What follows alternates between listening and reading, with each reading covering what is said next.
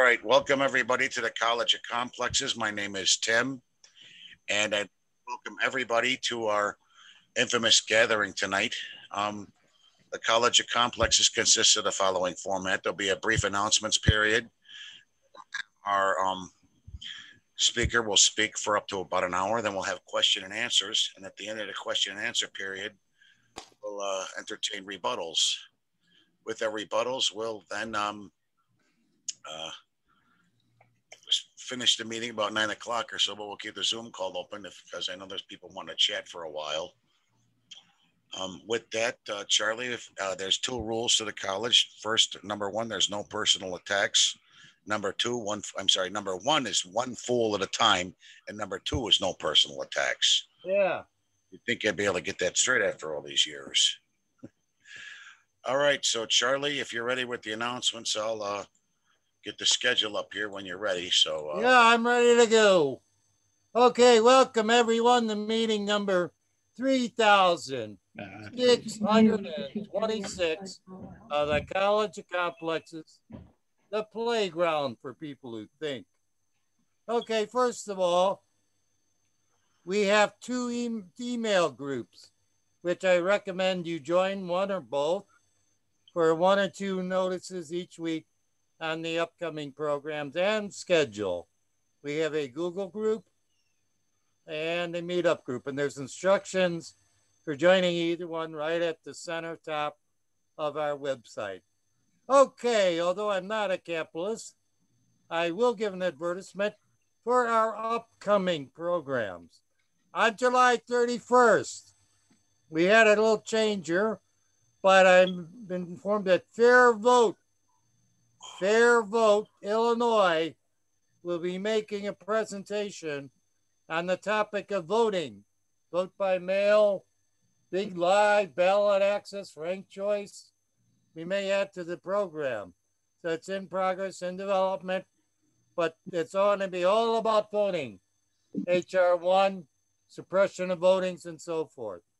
I may put together a little summary of the issues regarding it myself, a very short one on August the 7th. From overseas, we'll be joined by the young world federalists who want to have one government to govern, control the, the entire world. For many years, I was in the World Federalist Association. Uh, so this is the young world federalists, people like with the vision and the very informative video there if you go to the website. Following that, on August the 14th, I will be speaking. Uh, and I'm going to, I did a, a retrospective to look at the life of the ordinary person.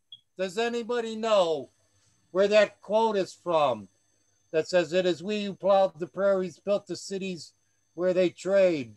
Does anybody know where that's from? Uh, Charlie Paydock. Sandburg. The lyrics from Solidarity Forever. But anyhow, I put together a 30 minute uh, look going back to the cavemen of what exactly was the lifestyle uh, and how it has changed to the every every the little guy, the ordinary person. I very informative, I think. Discovered a lot of things about that. Okay, now here's the thing. August the 21st and 28th are presently vacant. We're booked up through September. I'm having a little difficulty locating speakers given the summer and so forth. So is the other college. If you have not spoken before and would like to, or give it a shot, this is a good opportunity. If you know someone we should invite, please let me know.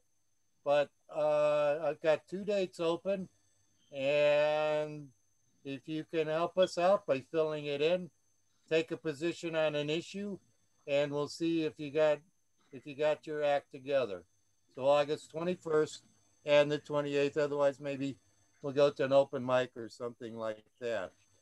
Us uh, heading into September, we have scheduled our regular Labor Day speaker, a veteran, 40 year veteran um, of the railway system. Mark Burrows is returning. He spoke to us about um, the railroad strikes and so forth, but he's going to be talking about the organized labor movement, about our accomplishments and challenges, past the present. He spoke about Debs. He's very knowledgeable about Eugene Debs, and he's the primary officer, RWU, the Railway Workers Union. So it could, should be an animated discussion for Labor Day. On September the 11th, Oh, not again. Jim Fetzer will be returning. He is the co founder of the academic 9 11 Truth Organization. And he's going to be talking on the topic of reality or illusion. I think all of you in the college better deal with that. Do you know about reality? Are you living in illusion in general? All right. Always already, Charlie. So uh, that should not be a problem for you. Yeah. All right. Moving on. September 18th. Now they put out a nationwide magazine, which is very useful. But Green America, ecological organization and publication will be sending a representative uh, on September the 18th. And on September the 25th, we'll be featuring another author, um, Todd Larson. Uh, wait, uh, not him. Move up, Tim. You just covered, James. You just covered. 25th. Huh? No, the 25th. Please move to the 25th. Okay. That's our 25th. James Michael Comaford, and on the uh, Yeah, all right. He's going to be talking. He did a pandemic tour of the United States, uh, getting re- reactions and responses. lives in Uh, Barron. so it's going to be pandemic night at the college. And again, I reiterate, we have two vacant dates. If you'd like to speak and be a catalyst to get the discussion going, we certainly would appreciate you getting in touch with me. Contact information is always available on the cover of our website. All right, Tim, that's it. Thank you very much. Take it away. All right. Uh, well, Patrick, if you're ready to start speaking, I won't introduce you since everybody seems to know that you're already speaking. Roosevelt Watkins, thank you for joining us. Dan and Ilyana, thank you for coming, and as well as everybody else. So, uh, if you're ready, uh, Patrick, go right ahead and start speaking. You got anything you want to share with us tonight, as far as I- screen share anything? Yes, yes, I, I do. Um, first of all, I'd like to thank the the College of Complexes and and everybody on this um, Zoom uh, session tonight for the opportunity to um, to speak here. Um, this is sort of a, my speech will be a summary of some of the um, main points in my book, Profound Secrets of of Jesus and his uh, his inner circle. Um, and so one of the themes that I will uh, address is the resurrection of Christ. To the resurrection of Christ, I want to first um, note that in uh, the second chapter of my book, I walk my readers through uh, the proofs for the uh, the existence of the historical the historical Jesus. When I make reference to the historical Jesus, I'm saying that historians have reconstructed the existence of a first century Jew by the name of Jew uh, by the name of Jesus, who was uh, from Nazareth, and that he led a religious movement and was crucified on the cross at the direction of Pontius Pilate. Um, scholars uh, are, are, are able to reconstruct that this Jesus was in fact um, baptized by another known historical figure, John the Baptist, and that um, Jesus made apocalyptic claims.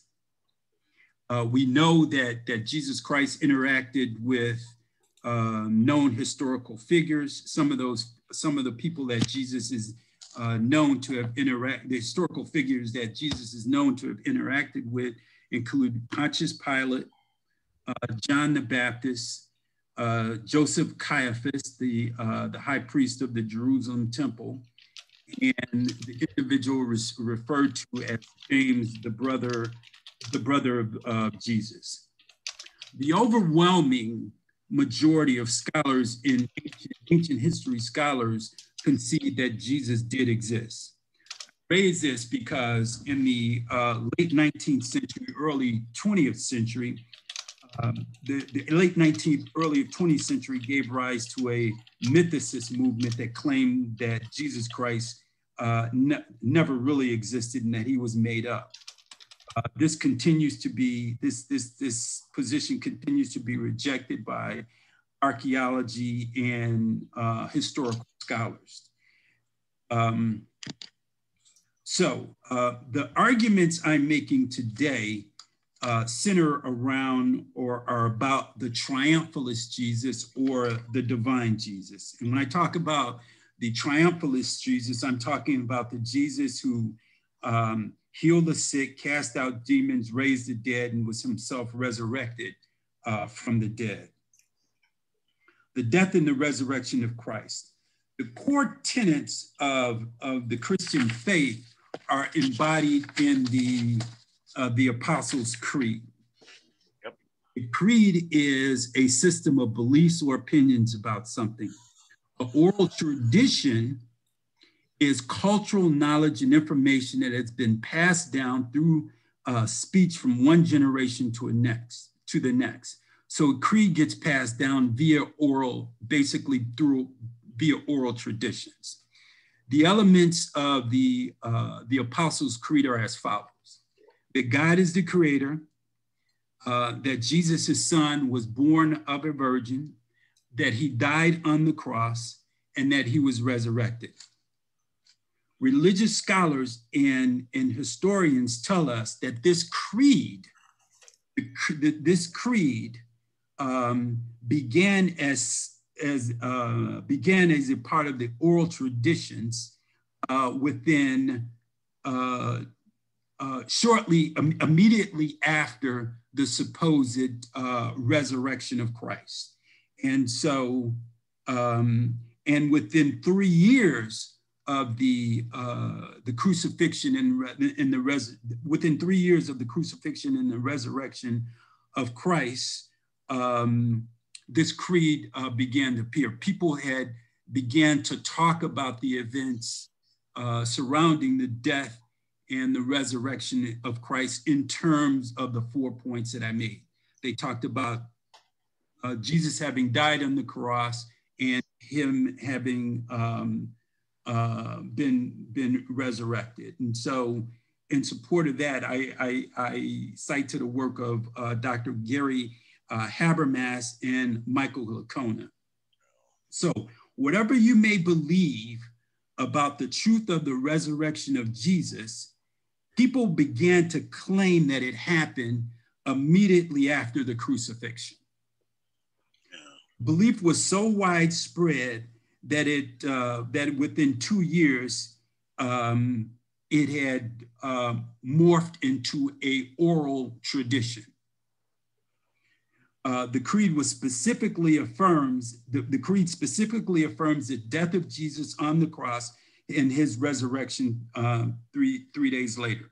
This is consistent uh, with, the, with uh, Philippians chapter 2, 5 through 8.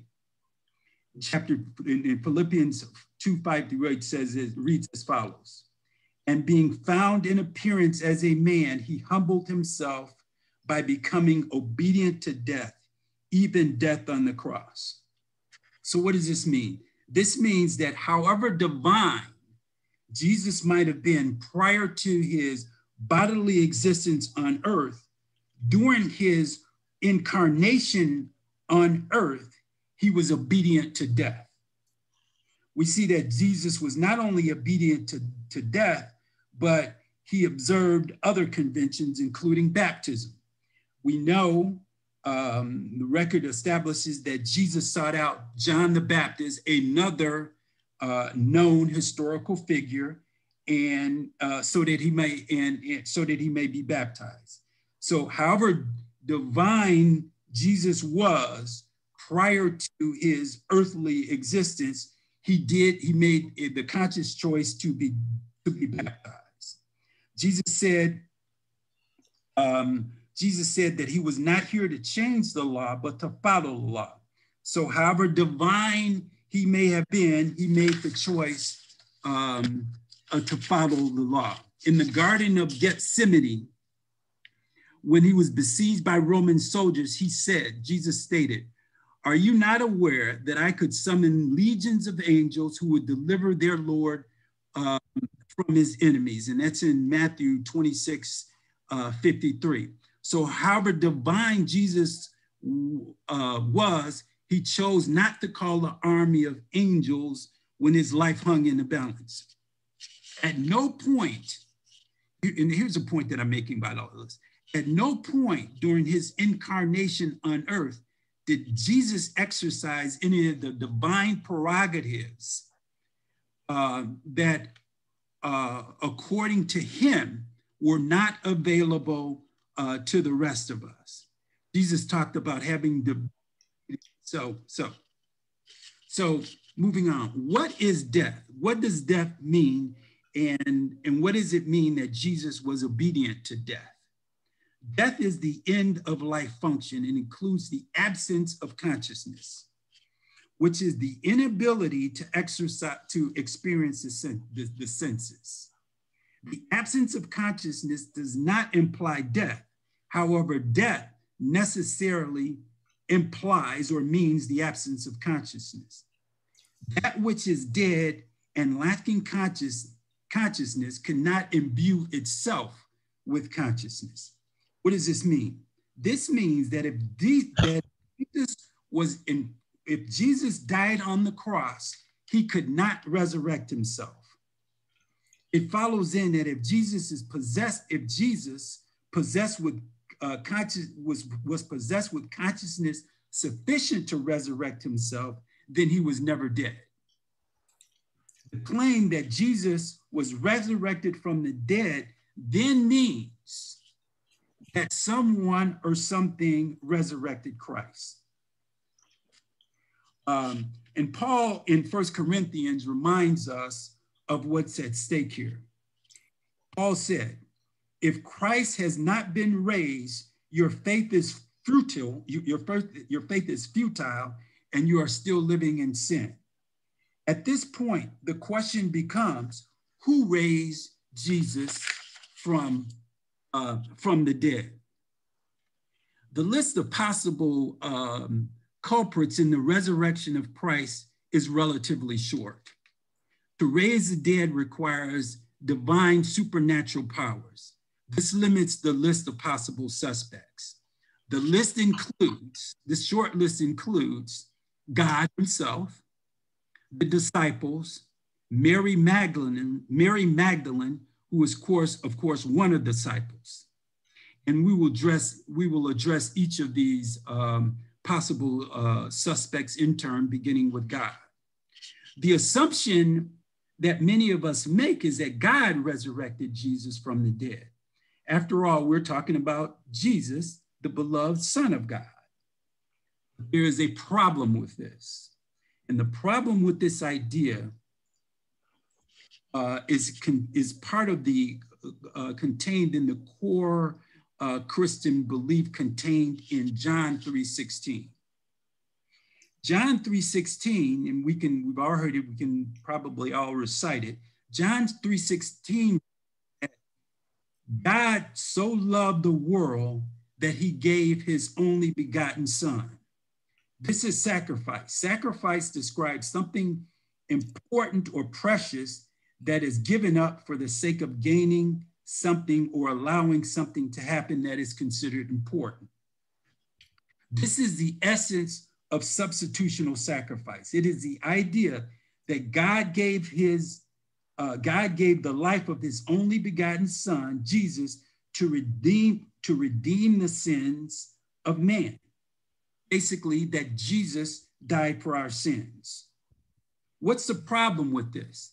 The problem with this is that it negates the idea of redemption. If God Himself, if God Himself resurrected Jesus um, three days after uh, he sacrificed him for our sin, then God has in his possession that which he claims to have sacrificed, his son. This means that there is no sacrifice. One cannot sacrifice the life of another and have that life at the same time. This notion runs um, contrary to the entire meaning of, of sacrifice. I sell my house, and then three days later, I decide that I want my house back. And I tell the owners that, that you have to vacate it. And by the way, I get to keep the, the thousands of dollars that, that you paid me for. One of the things, one of the things, in, in, in, in, one of the things that you forfeit or give up when you decide to marry is the the right to sort of randomly date. You don't marry and at the same time tell your was your husband or wife, wait, don't wait up for me because I have a date tonight. The idea, the point. Many have tried, though, I'm sure. yes, yes, yes, yes. The idea that God sacrificed his son and then three days later resurrects him then makes no sense. Where is the sacrifice if God immediately brings back his beloved uh, son? I don't mean to, to sound crass here. I appreciate that we're dealing with serious subject matter. Still, if you align yourself with the idea that God resurrected Jesus from the dead, then you have to adjust this, this obvious con- uh, contradiction. During the period of sacrifice, during this period, sacrifice was not unknown. Um, the people of the covenant understood it well. The terms of the sacrifice were clearly understood by both parties. Both parties knew what they were expected to give up and what they expected to receive in turn. The Hebrew Bible describes God's uh, various covenant between um, uh, uh, with his with the with the uh, Jewish people. We are talking about um, when we're talking about people who were uh, um, knowledgeable about contract concepts. Now, here, but the dilemma, the dilemma regarding who resurrected Christ is, is solvable. That someone other than God resurrected Jesus from the dead does not impact Christianity at all. The creed states that Jesus uh, was resurrected. There is no consistency. Uh, there's no consistency on who resurrected Jesus from the dead. For example, if you go to you, you go to Acts, Acts uh, 2, chapter 2, um, 24 says God did. Gal- Galatians says that the three person, the three persons of the Holy uh, Trinity did. John 2:19 predicts that Jesus raised himself from the dead. Romans says that Spirit raised Christ uh, from the dead. So at this point, let's let's let's let's just take a step back to to to to look at the core tenets of uh, of the Apostle Creed to determine whether or not they're still intact. God the Creator, we still have God the Creator. We still have Jesus, His Son, born of a virgin we still have he died on the cross uh, for our sins and that he was that he was resurrected. The Hebrew Bible, the Hebrew Bible and the New Testament describe 10 resurrections, all performed by men. Most were performed by Christ, two were performed by uh, disciples of Christ, Peter and uh, Peter, Peter and Paul in the name of Christ. So moving along on our list of suspects. So we, we've addressed God as a suspect and we talk about how God's involvement, in my opinion, negates redemption. So let's look at the disciples. Next, we come to the disciples. When we examine the list of possible suspects, we look at those who have the uh, the, the ability, uh, those who would have been motivated, and those who had the opportunity. The sus- suspects must have had all three. The exclusion of any one of three eliminates the possibility of responsibility? Was there a question? No, we'll, we'll, we'll go into question time. Yes. Go, go, uh, go ahead. I mean, no, we normally have questions after the presentation. Oh, I'm sorry. I thought I heard her. I, I thought I No, heard. no, no, that, that's okay. But if, if somebody's, you know, we'll, we'll be, Problem is that, the problem is Linda needs to mute. She's on a phone Okay. call. Thanks. Bye. There you go. all right. Well, at least you can hear us. Okay, so Patrick, please continue. Okay. And Linda, could you mute your microphone? So next we come to the next we come to the disciples. When we examine the list of possible suspect, we you know, and I think I already covered. We have to there was a mean the ability, the motive, and the opportunity. Suspects must have all three. The exclusion of any one of these three elements eliminates the possibility of responsibility.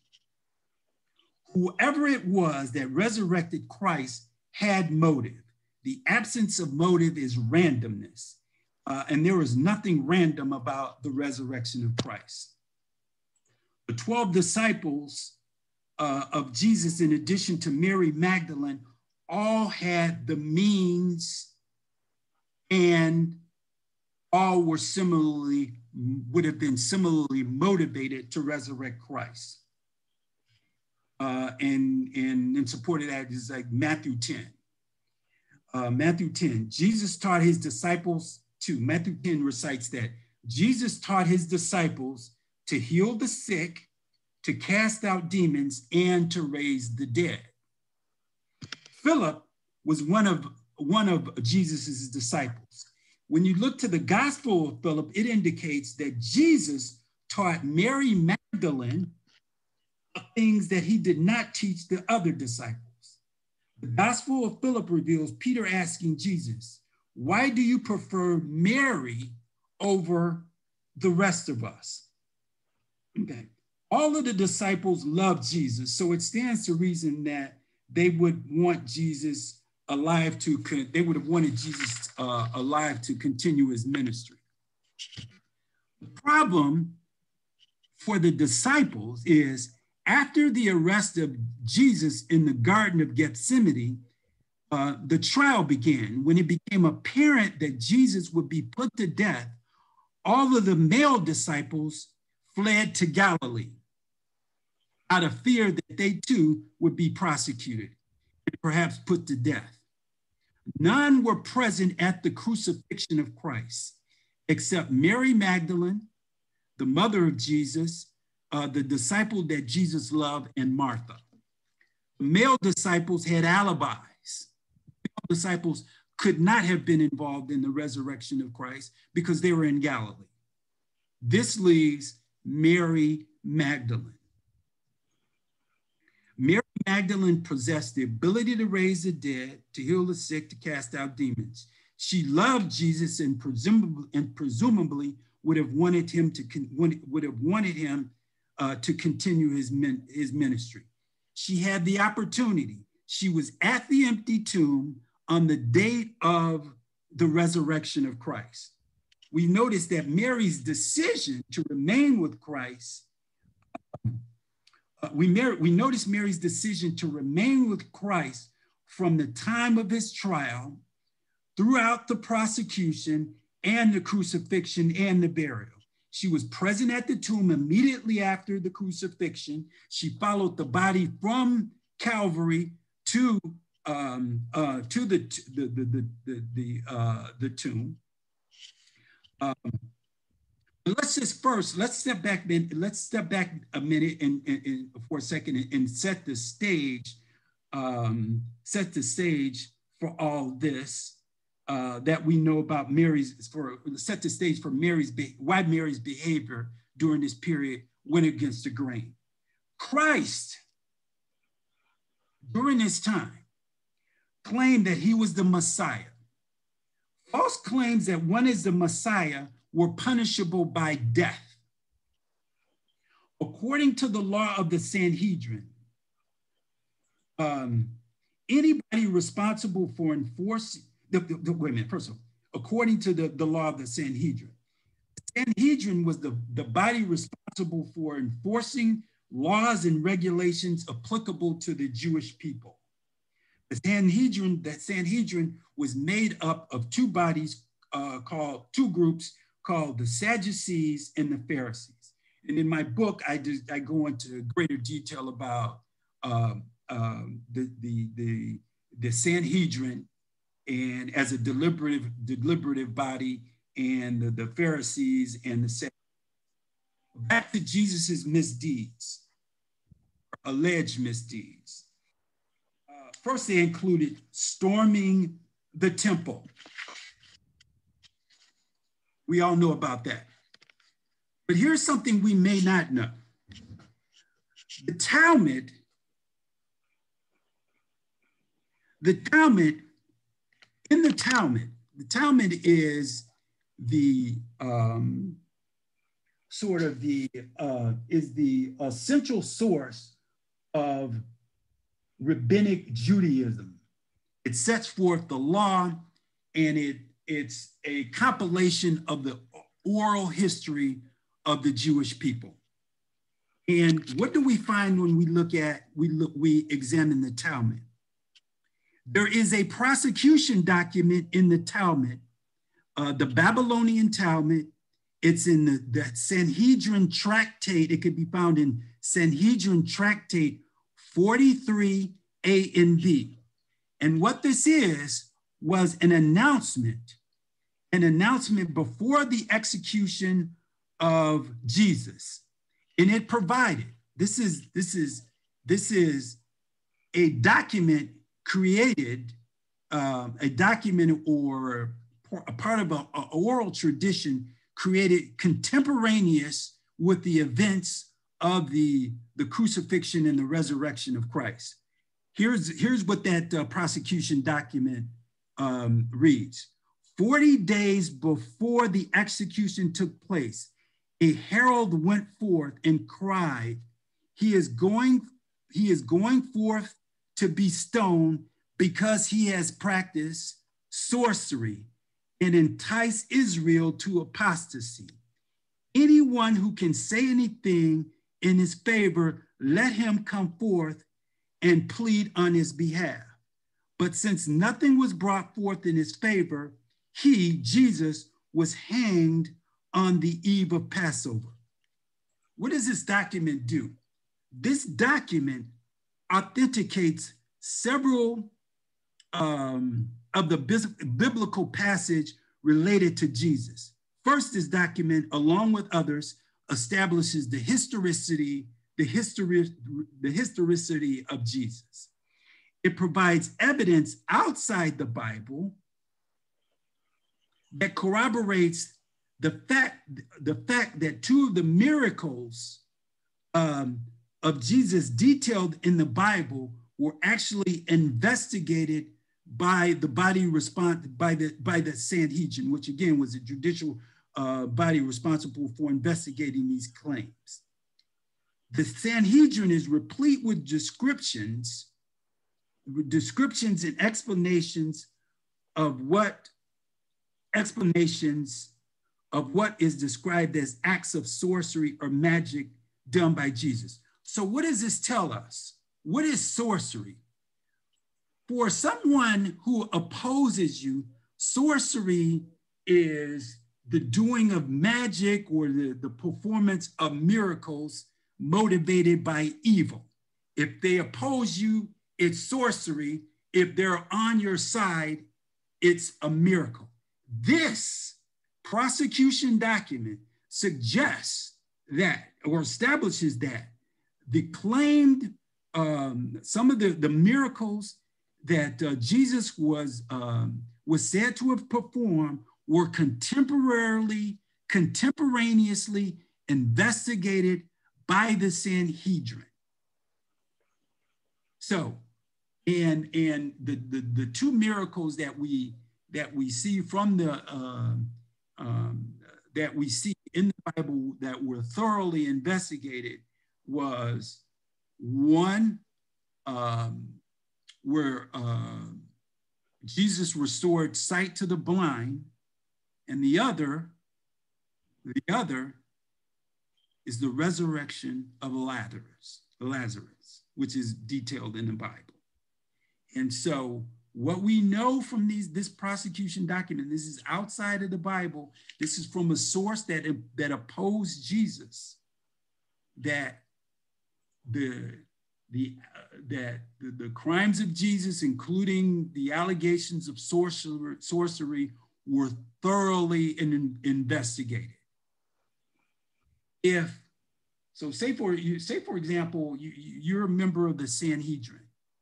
There is a claim that Jesus um, raised Lazarus from the dead, attested to by several people. They were attested to by so many people that the Sanhedrin couldn't deny it. If this person hadn't been investigated by the, the simplest way to, thing for the Sanhedrin to do was just to go was to go grab Lazarus and say, okay, you know, you know, he's alive, you know, but that didn't happen. There are several uh, documented claims in the um, in the uh, Babylonian Talmud that describes Jesus performing acts of, you know, what they call sorcery, what we would call, or more neutral parties might call miracles. Um, so, and and and they're they're deep and and there a lot of them are detailed in my book. So back to that back to Mary back to Mary Magdalene. We're, what we're doing at this point is we're setting the stage for um, setting sort of the context for Mary's behavior. So we have Jesus performing acts of magic, performing uh, performing miracles, condemning the Sadducees and the and the and the Pharisees, making apocalyptic claims about the destruction of the temple. This made Jesus a target uh, of the religious orthodoxy and Pontius, and Pontius Pilate. Something had to be done. The problem for Mary Magdalene and uh, the disciples was their conspicuous association with Christ. His ideas made him increasingly popular among the masses. As a result, he was thought to pose a threat to the, the peace and the exclusive authority of the temple. If Christ was the Messiah, then temple sacrifice would become superfluous. This, um, this would render the high priests of the Sadducees likewise um, uh, of superfluous. Um, and in my book, I go into greater detail about about uh, about why, but um, the short version is that the resurrection of Jesus would have eliminated the the, the need for uh, temple sacrifice temple sacrifice because Jesus would have been that sacrifice. His his excuse me his the crucifixion of Jesus would have served as uh, that sacrifice to redeem, um, redeem humanity. Uh, so Mary Magdalene and the disciples embodied, uh, represented the embodiment of this threat. Silencing the leader and his movement became the first priority of the Sadducees. The capture and execution of Christ, the capture and execution of Christ was calculated to send a message. All threats, all threats would be eliminated. This message seemed to have uh, been received by the disciples. They scattered, but Mary Magdalene did not. After the trial and crucifixion, she had to know that the wrath of the Romans would next turn to the followers of Jesus. Mary, it seems, was um, in great danger living on borrowed time. Clearly, it would have been safer for her to flee Jerusalem with the disciples but she did not. So the question becomes what compelled Mary to deny the finality of the execution, um, the execution of Jesus Christ that she had just uh, witnessed? Why would she stay? What was she thinking? Had she become unhinged seeing the scourging and the beating of Jesus Christ? In spite of the apparent danger that she was that uh, that was present at the crucifixion, she followed the body to the burial uh. Let's just back up. Prior to his arrest, during his, his ministry, we know that Jesus Christ predicted his death and that he would be resurrected three days, three days thereafter. That's first point. Second point, Joseph, Joseph of Arimathea had become a follower of Jesus and had been given permission by Pontius Pilate to take the body of Jesus after the burial, uh, after the, excuse me, after the crucifixion. Mary, as a follower of Christ, knew this. And she also knew that the resurrection was to take place on the third day. Jesus, prior to his arrest, had already predicted that the disciples would scatter. He quoted Zechariah 13, 17, which said, They will strike the shepherd and the sheep will scatter. This left Mary Magdalene and only Mary Magdalene. Every aspect, this left Mary Magdalene and only Mary Magdalene. Every aspect of the life and um, uh, the, the life of Jesus was foreshadowed, was, was foreshadowed in the Hebrew Bible. Why would it be silent on the resurrection of Jesus? I submit to you that it wasn't. Is it, is it so? So, and, and, and within the context of who resurrected Jesus, it is important that, that, that to note that God used a woman, the Virgin Mary, to birth Jesus. Jesus went to a human being, John the Baptist, to be baptized.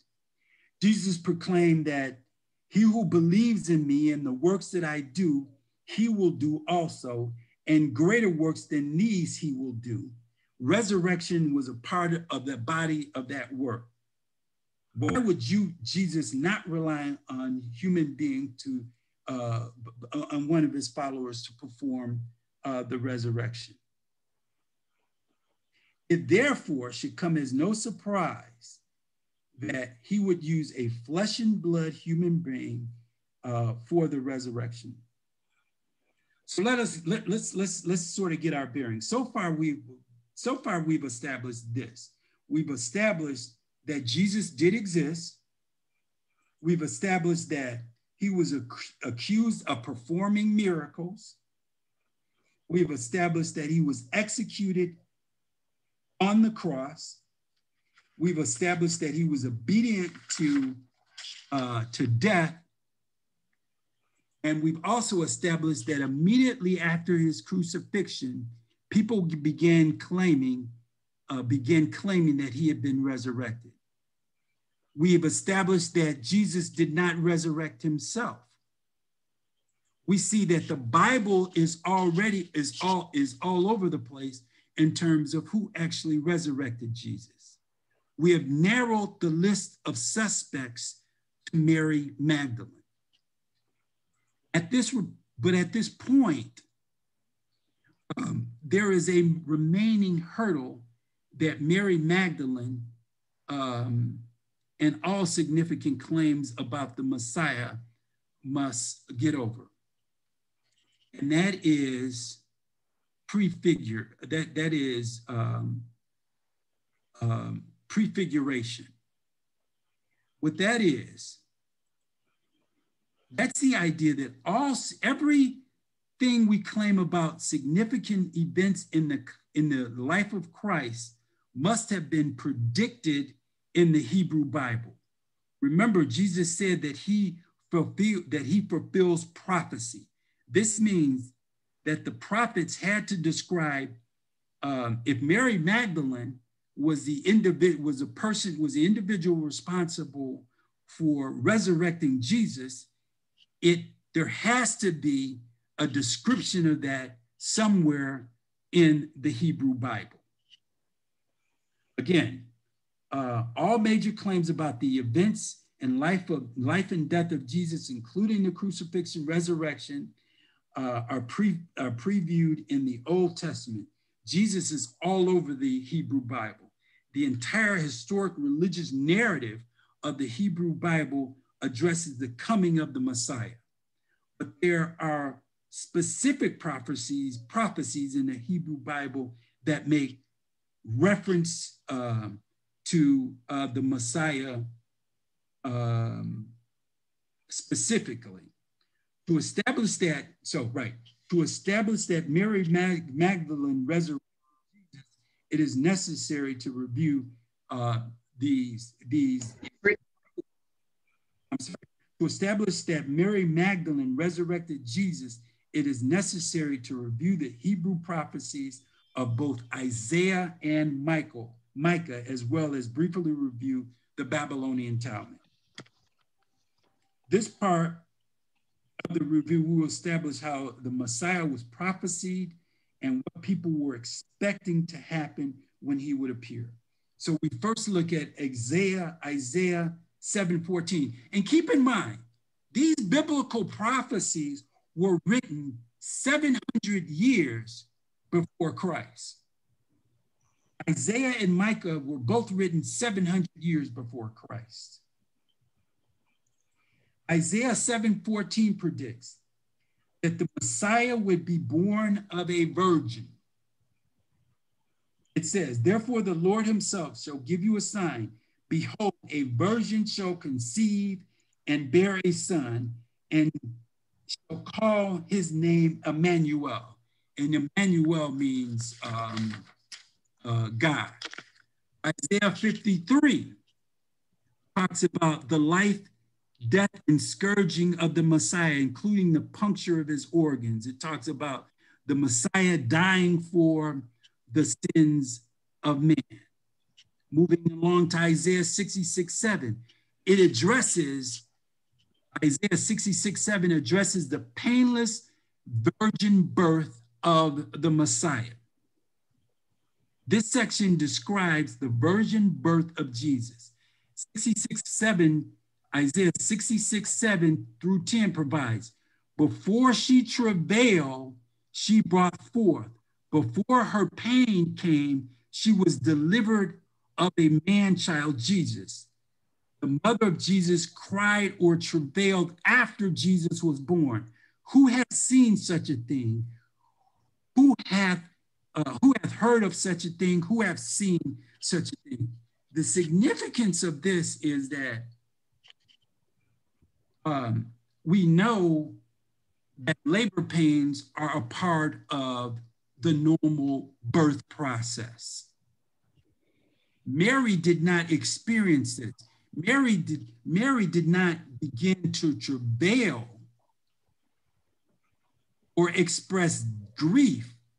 She, she, she did not express grief or pain during the birth process of Jesus. Her travail came after Jesus was born. The reason that um, that her her travail came after was because she knew, Mary knew uh, uh, of Jesus's ultimate plight, that he was um, that he that that he was headed that he was headed toward uh, Calvary and that he would die a violent death for the sins of man. And so this is not only me talking. This this this this is corroborated by religious luminaries such as St. Augustine of, of, of Hippo, St. Thomas Aquinas, the Council of Trent, and many, many others support the painless birth idea advanced in um, Messiah. They each conclude, the, the, the, the foregoing, each conclude emphatically that in that Isaiah 66, 7 references the virgin birth of Christ, and that it was out that the virgin birth of Christ was without travail. We'll get to the, um, the further significance of that um, shortly. So the birth process, the birth process emerges as the key to solving the mystery of who resurrected Christ. Why? Why is this important? Genesis 3:16 says, reads, I will greatly multiply your pain in childbearing, pain you shall bring forth um, uh, children. In pain you shall bring forth children. This burden was imposed on humanity because of the sins of the the the the the the, the, the, sins of Adam and Eve in the um, in, in the in the uh, garden of in uh, in Eden. And so as a result of their sins, God determined that the birth process would be a painful process. So the, gar- the Garden of Eden, Eden basically sets the stage for all this. But the mother, Mary, the mother of Jesus, was exempt from this law because Jesus was not born of the seed of man. But Jesus was born with the seed of God. This is the Immaculate Conception. There were no labor pains associated with the virgin birth of Jesus Mary Magdalene. This is important because this, be, this is important because any birth, uh, any birth we see described in the Bible where the woman is experiencing labor pain prior to the birth does not relate to uh, the birth of Jesus. There is a documented, this is, okay, and so this is also a documented messianic uh, prophecy in the Hebrew Bible that predicts that the Messiah uh,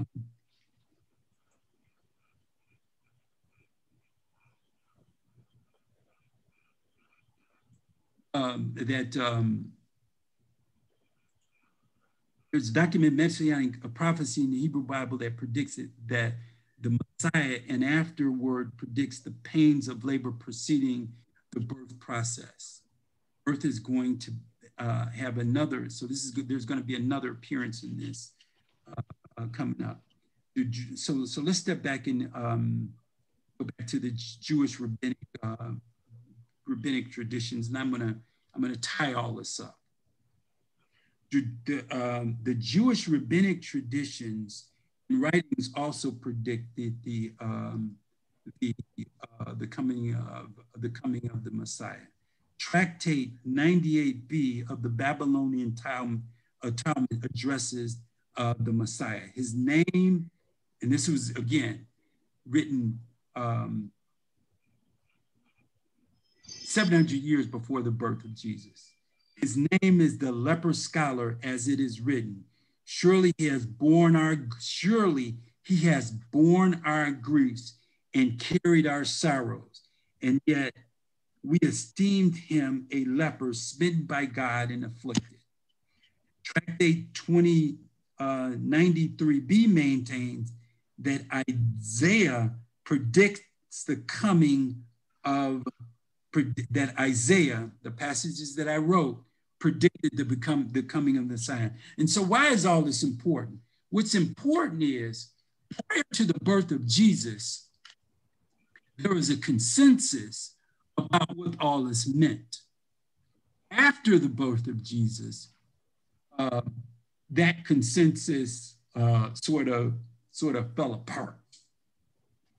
So before there was universal agreement that these were all messianic uh, passages uh, that referred to the birth of the, the, the that referred the, the uh, referring to the uh, coming of the Messiah. Um, a tractate 93b maintains that Isaiah picks the coming of the Messiah. Uh, it is written that the Spirit of the Lord shall rest upon him, the Spirit of wisdom, understanding, and the Spirit of counsel, and my Spirit of knowledge, of fear of the Lord, and shall make him quick in understanding and fear of the Lord. That's basically the passage. Um, Isaiah 53 8 notes that by oppression and judgment he was taken away, and yet who his generation, who of his generation pro, pro, protested? For he was from, from the land of the living, for the transgressions of my people he was punished. This is a direct reference to um, the crucifixion of Jesus uh, Christ. In Isaiah 11, we see seeing the light refers to, Isaiah 11 refers to seeing the light. Seeing the light refers to the re resurrection of the servant, resurrection of the servant from the dead because of his work. He will see the light and be satisfied in his knowledge that in the obedience of the covenant, his satisfied in his knowledge that is his obedience in the uh, relationship with the Lord. And so at this point, I cite support for avalanche of support that that too is a, a messianic uh, prophecy. We see here that, so, so we see here that uh, Isaiah addresses both the resurrection.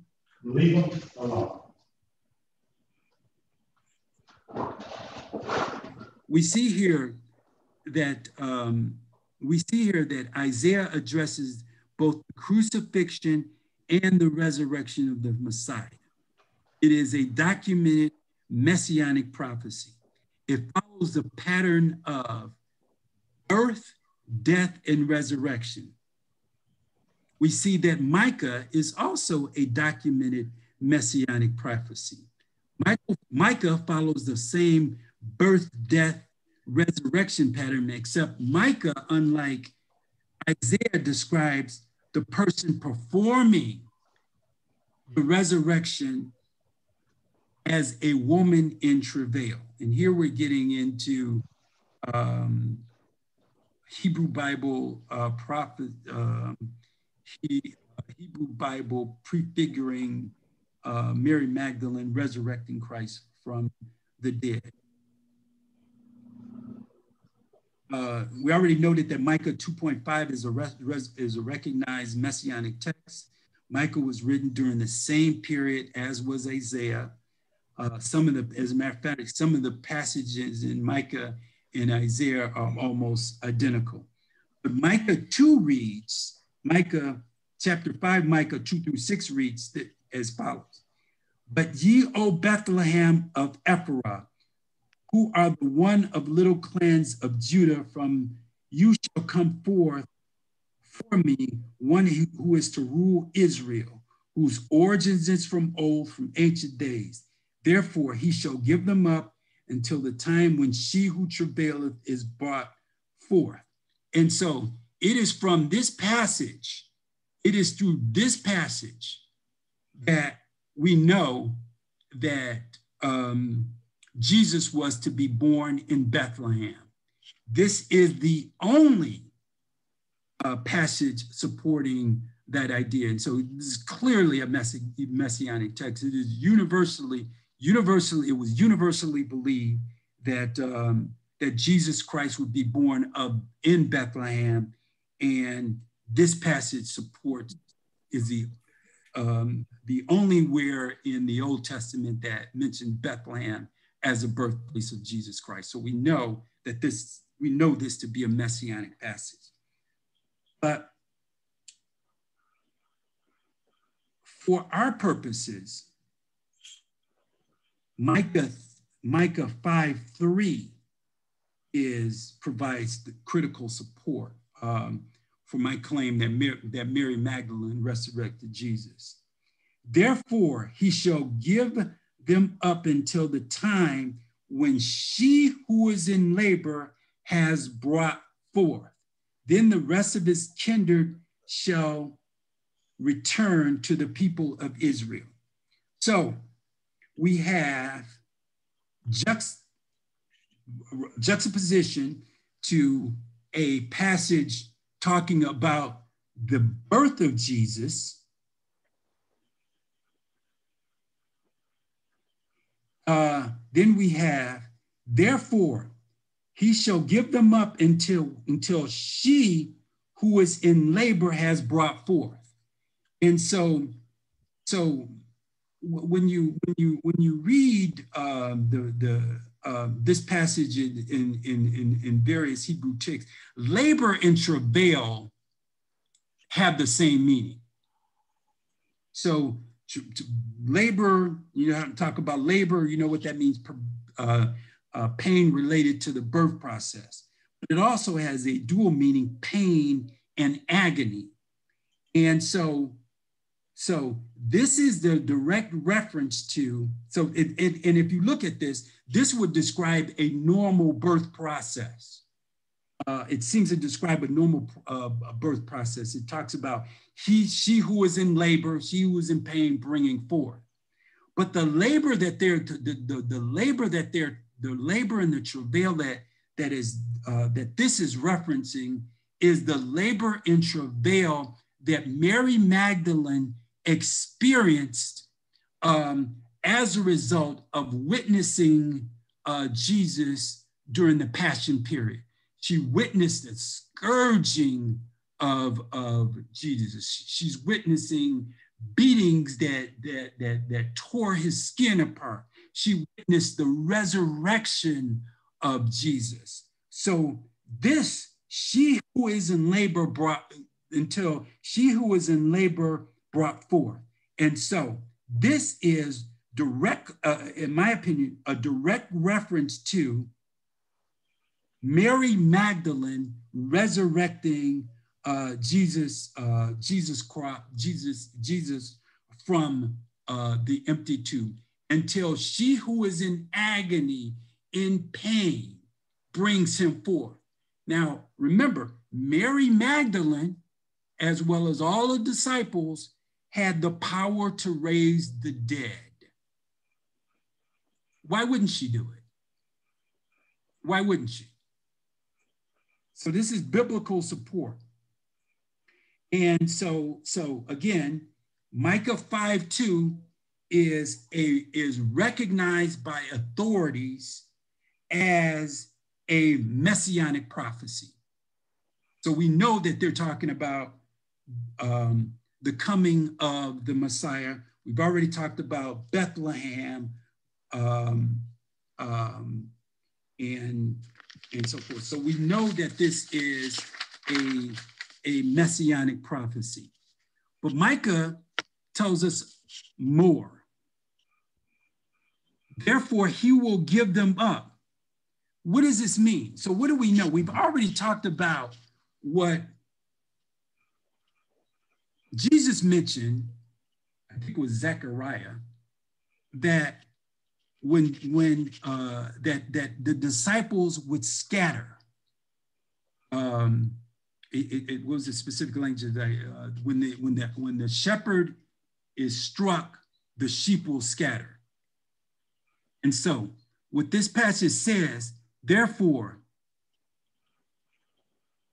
he will give them up. So he will give them up is a reference to Jesus in, in this in, in, in, in Jesus, if you remember, for those familiar with the Bible, Jesus told his disciples at the Last Supper that he is going to leave them, that he is going to, to leave them, but that he would, in fact, return. The disciples didn't um, appreciate what he was saying, uh, uh, but he was directly referencing the fact that his arrest and uh, prosecution and crucifixion was imminent. And so this is a direct reference. This is a prophetic text that references what is going to happen.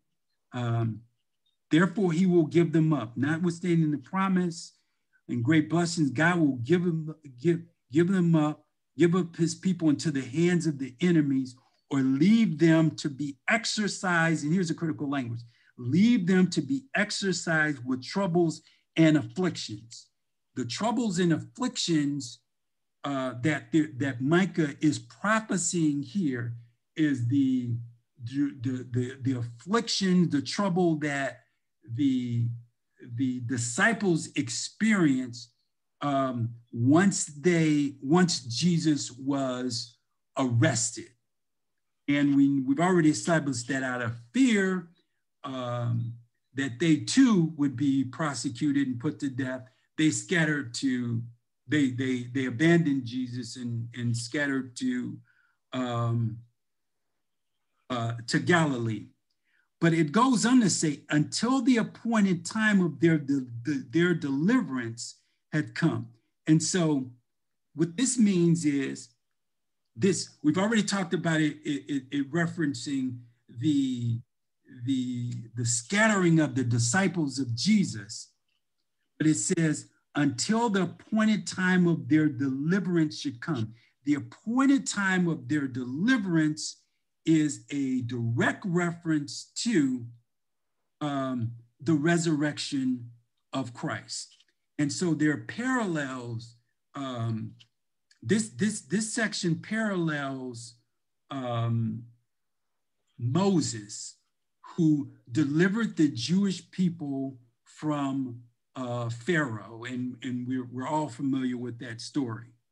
And so, so this is, but, but, but the, the language, until the appointed time of their deliverance uh, shall come, until that time, until, and then and it goes on to talk about the time when that she who delivers brought forth. So this is talking about the, the abandonment and the return of the, of the disciples after Mary, uh, Mary Magdalene announced the resurrection of Christ.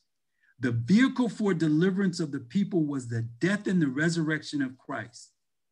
So, what we see being described in Micah 5 is the resurrection of Christ or the bringing forth of Christ after his crucifixion. This passage describes the resurrection of Jesus by Mary Magdalene just as Moses, as I mentioned, Moses, um, uh, you know, I just already talked about the parallel text. Um, and so just yeah. Moses, and so just, I'm sorry? What, what's wrong, Charlie? Uh, we're running out to an hour. Maybe we ought to ask the speaker to proceed to a summary. Okay, um, so just as I, I can do that.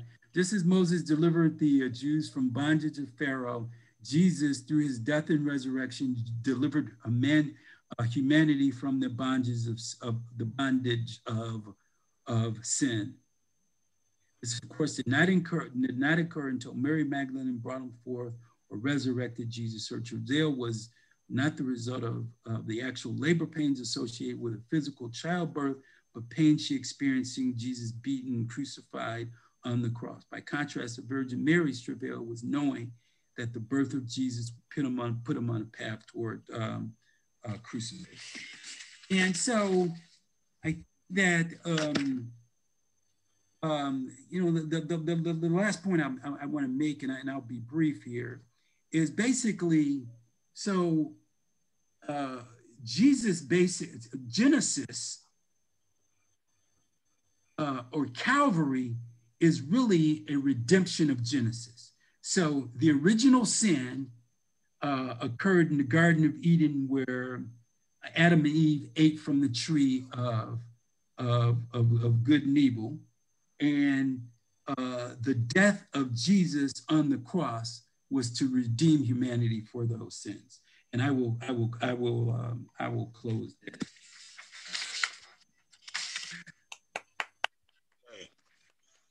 So.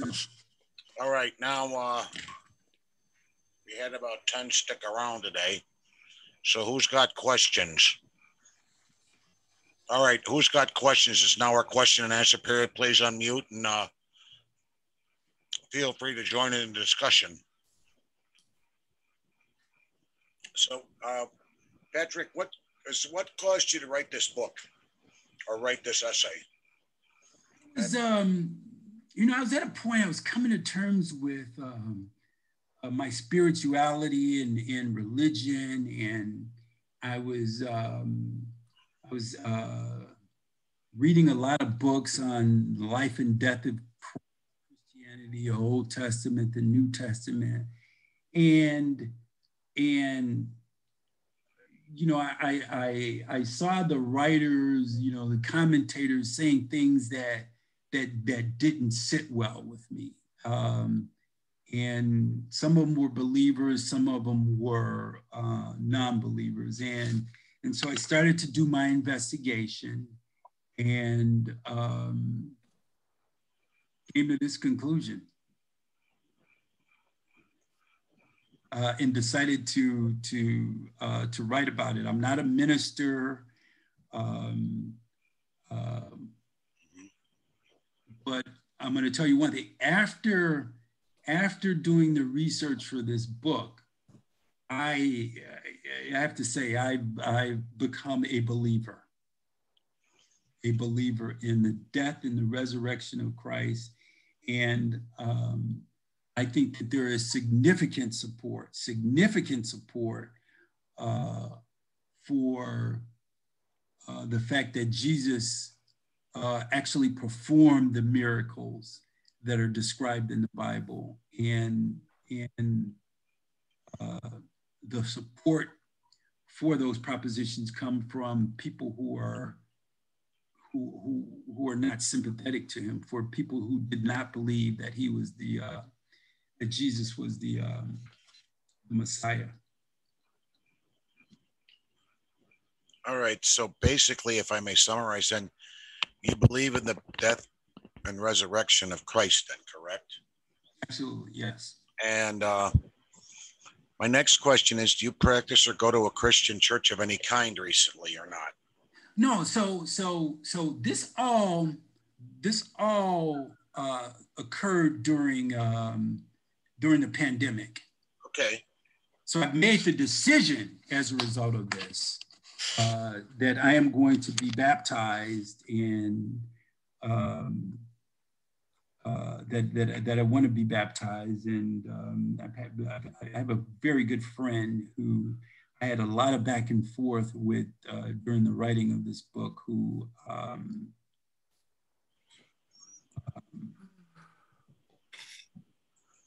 who sort of helped me along in, in that in that process. But but yeah, as a result of this, I believe uh, to to in the urban I, I believe that Jesus Christ was the real deal. And uh, now, so what what do you think you might do as a result of this him being the real deal? How do you think it'll change your own life, if anything?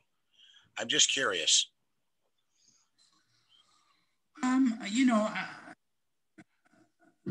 we're losing more people here. I'm sorry. I don't mean to.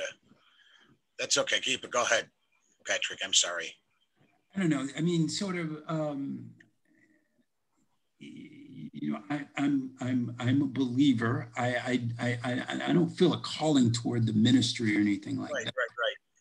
Right, right, um, um, I, I mean, is in terms of like for me, for example. Okay, I go to my Christian church. I, you know, believe in prayer and, and uh, believe in things like uh, having a relationship with God. I do believe in a calling. I do believe in certain things. I mean, I'm not going to agree with every one of my believers. As a matter of fact, me and uh, another guy at my church, he happens to be a diehard Donald Trump fan, and I, I'm not. I mean, it could be the source of a lot of argument between us, but we both agree. Pray for the leaders above us, and uh, you know, we have a lot more in common than we realize.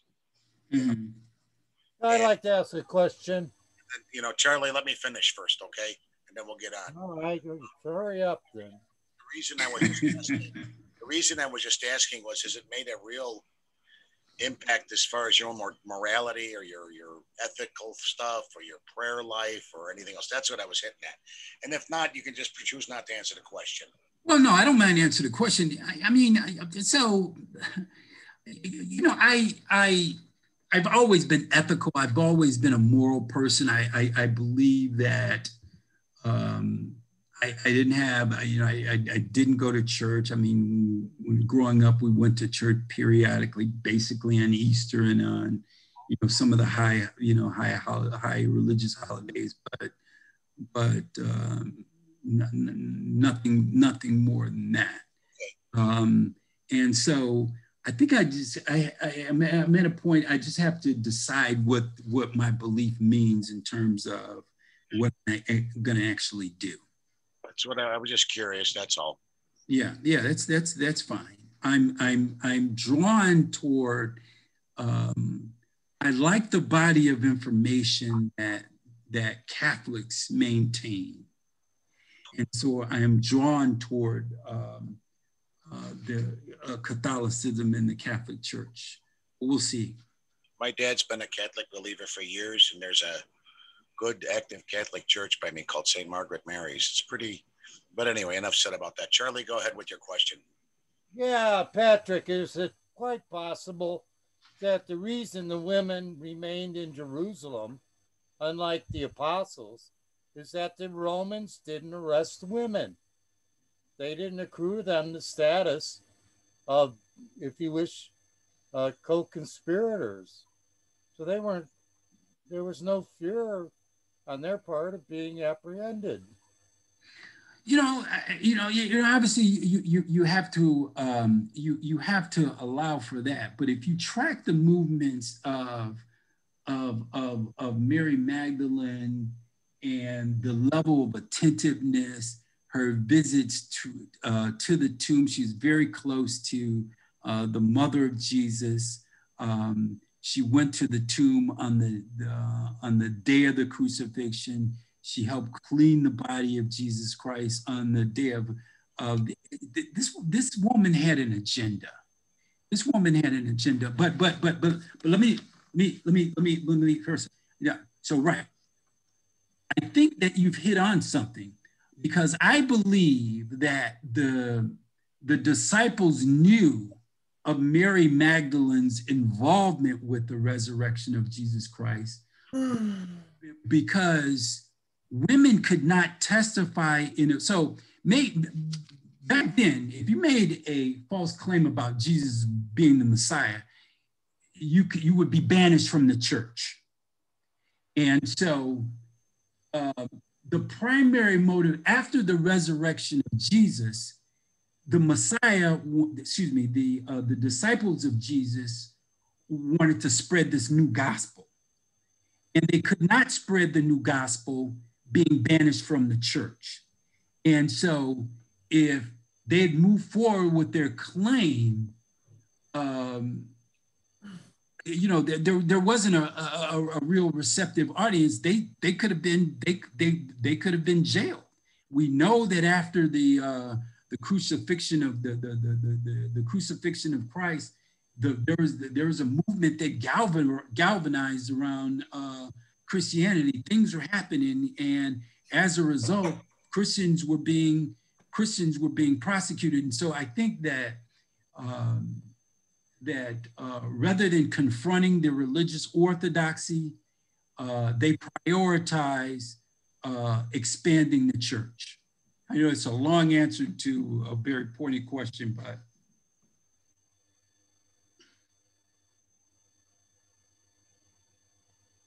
Still there, Patrick? I absolutely, yes. I'm sorry, I just heard silence for a minute. Yeah, I, I, uh, I, I, I finished answering the question. Patrick, what do you think about this statement? Uh, I'm a practicing Catholic, and one of our rather high level clergy here refers to Mary Magdalene as the apostle to the apostles. What would you mm-hmm. have to say about that? I'm, I'm in absolutely I'm in absolute agreement with that. I think that um, the role that first of all, it, it, by definition, Mary Magdalene was the founder of Christianity, and because she was the first person in a position to, I mean, she witnessed the death and the resurrection of Christ. And she spread the word to the apostle. And, and, and so that's why they call her the apostle to the apostle, because she was the first uh, person to be in a position to spread this new gospel. So I am in 100% alignment with, uh, with that.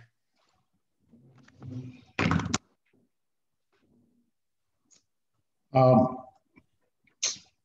this is uh, Curtis All right. uh, Um, why is it that uh, nowhere in any of the apost- in, in any of the epistles, the books written by Paul or uh, Peter or John, those who were with the Lord Jesus, why didn't they reference Mary Magdalene as being the one who um, resurrected the Lord Jesus. And secondly, uh, the Apostle Paul and even Peter says that it was the Holy Spirit, the third person of the Godhead, who recognized, who uh, raised the Lord Jesus. Uh, why didn't the apostles reference or anywhere state that it was Mary Magdalene who raised them from the dead? No, I, I think that, and, and I and, and, there's a chapter in my book in my book about uh, the Apostle Paul. I think Paul had a problem. Uh, I think that Paul had to really, first of all, I think that there was that that the Apostle Paul had contact with Jesus prior to uh, his road to Damascus experience it, it just it just it, it, defies logic to suggest that he had a leadership role in the Pharisees. You look at the Bible, the Bible documents 74 contacts between Jesus Christ and the Pharisees. Um, Paul says some things um, that suggest to me that he had contact with, with, with, with Jesus. But Paul, Paul, in my opinion, because he he was you know that Paul, as Saul, prosecuted uh, Christians, and so I think that Paul um, did not want to reveal a lot about his pre-conversion experience with the followers of Christ, because that would have only put him in a bad light. And, you know, you look at the Bible, you know, there was antipathy between a lot of the followers of Jesus and, and Paul. So um, Paul had the self mute. I don't know how much contact he had with, um, with Mary Magdalene, but at the time that this happened, Paul was, was opposed to uh, Jesus Christ in in his ministry. And so I believe that that um, that Paul because of that. Well, um, I'm I'm a little confused with your uh, with your response. There's no indication either in the Bible. Is is there any any indication in his epistles, uh, not just Paul, but say Peter, uh, James, John. Uh, why don't they mention Mary as raising from the dead? And the second question I, w- I wanted to ask you I'm reading the Gospel of John right here. Maybe you can explain this to me. Mm-hmm. Uh, early on Sunday morning, while it was still dark, Mary Magdalene came to the tomb and found that the stone had been rolled away from the entrance. She ran and found Simon Peter and the other disciples the one whom Jesus loved, she said, quote, they have taken the Lord's body out of the tomb and we don't know where they put him. Why would she say that if she's the one that raised him from the dead? This is what the Gospel of John said that Mary Magdalene said. She didn't know. Uh, why would she say something like that if she's the one that raised him from the dead? Well, that they have taken his body away and we don't know where they've laid him, where they put him. Why okay, so, okay, so let me let me answer the question. So I don't know if you heard my my my presentation, but the Bible is all over the place in terms of who resurrected Jesus. Um, in Acts, it said that he was he was he was resurrected by the Holy Spirit.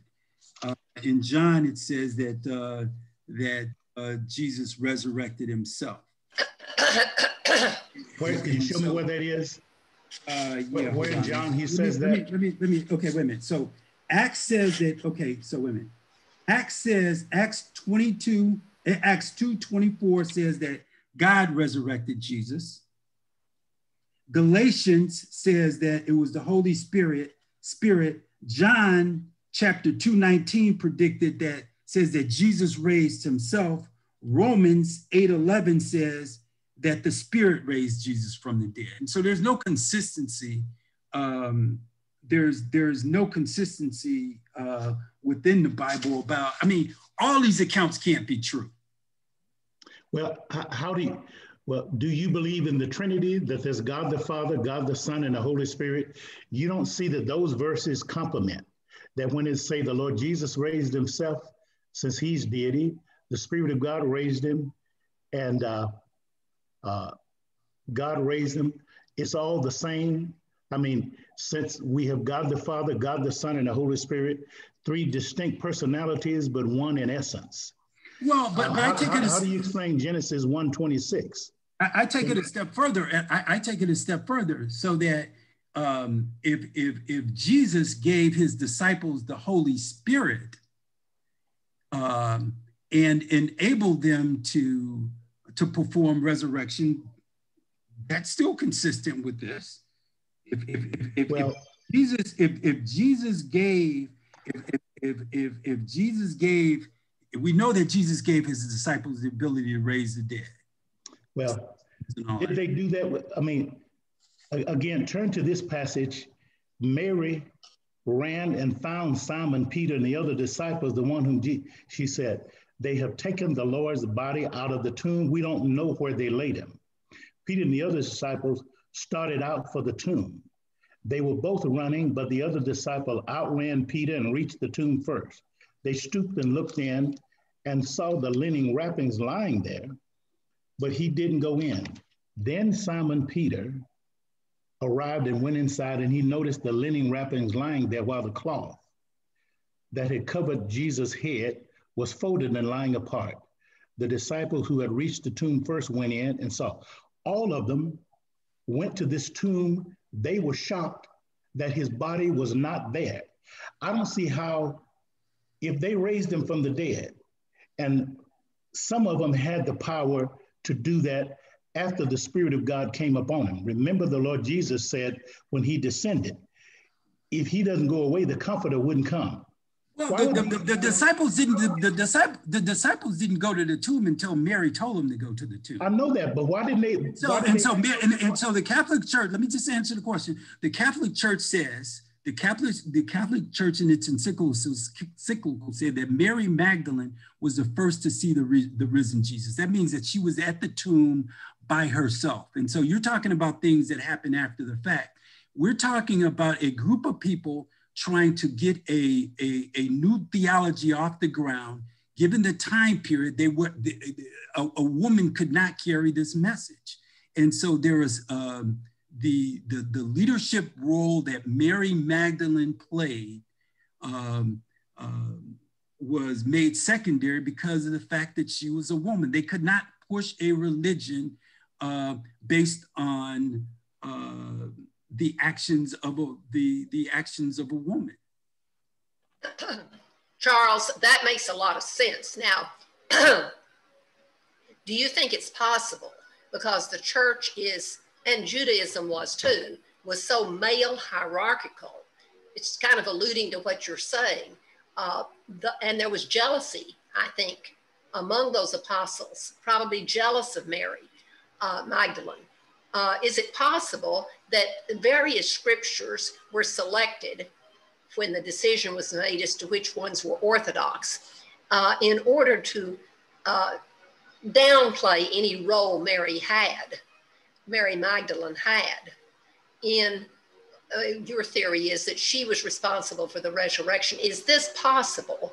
That I, I, I absolutely believe it is possible. I mean, we talk about you're talking about the the, the you know, the, you know they deemed her a prostitute. Yeah, I mean that was all made up they, to negate her. Well, right, they, they, they called her a prostitute, and it wasn't until 1965 that excuse me, 1969 that the Catholic Church said that she was not a prostitute. I, of course, you know, uh, many things were said about her to diminish exactly. her importance. To diminish her, her absolutely to uh, diminish her importance, and and they were prosecuting people for making claims that uh, that, that that that Jesus was the Messiah, and so they could not use Mary Magdalene because if they were to rely on go to they could not go to court relying on the testimony or the witness of Mary Magdalene because she was a female and asked could not testify in a a a, a court.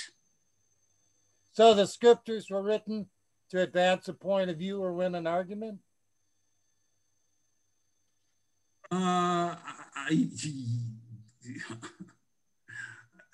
I mean, it's it's hard to avoid that. Con- it's hard to avoid uh, that conclusion. That I believe, and I said at the outset, I don't think that uh, my theory um,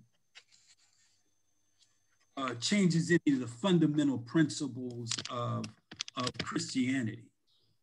Um, but I think that there was a conspiracy uh, against women to downplay the role that women had in in this uh, in, in in this movement. Clearly, by anybody's definition, Magdalene should um, be uh, regaled as the founder of Christianity.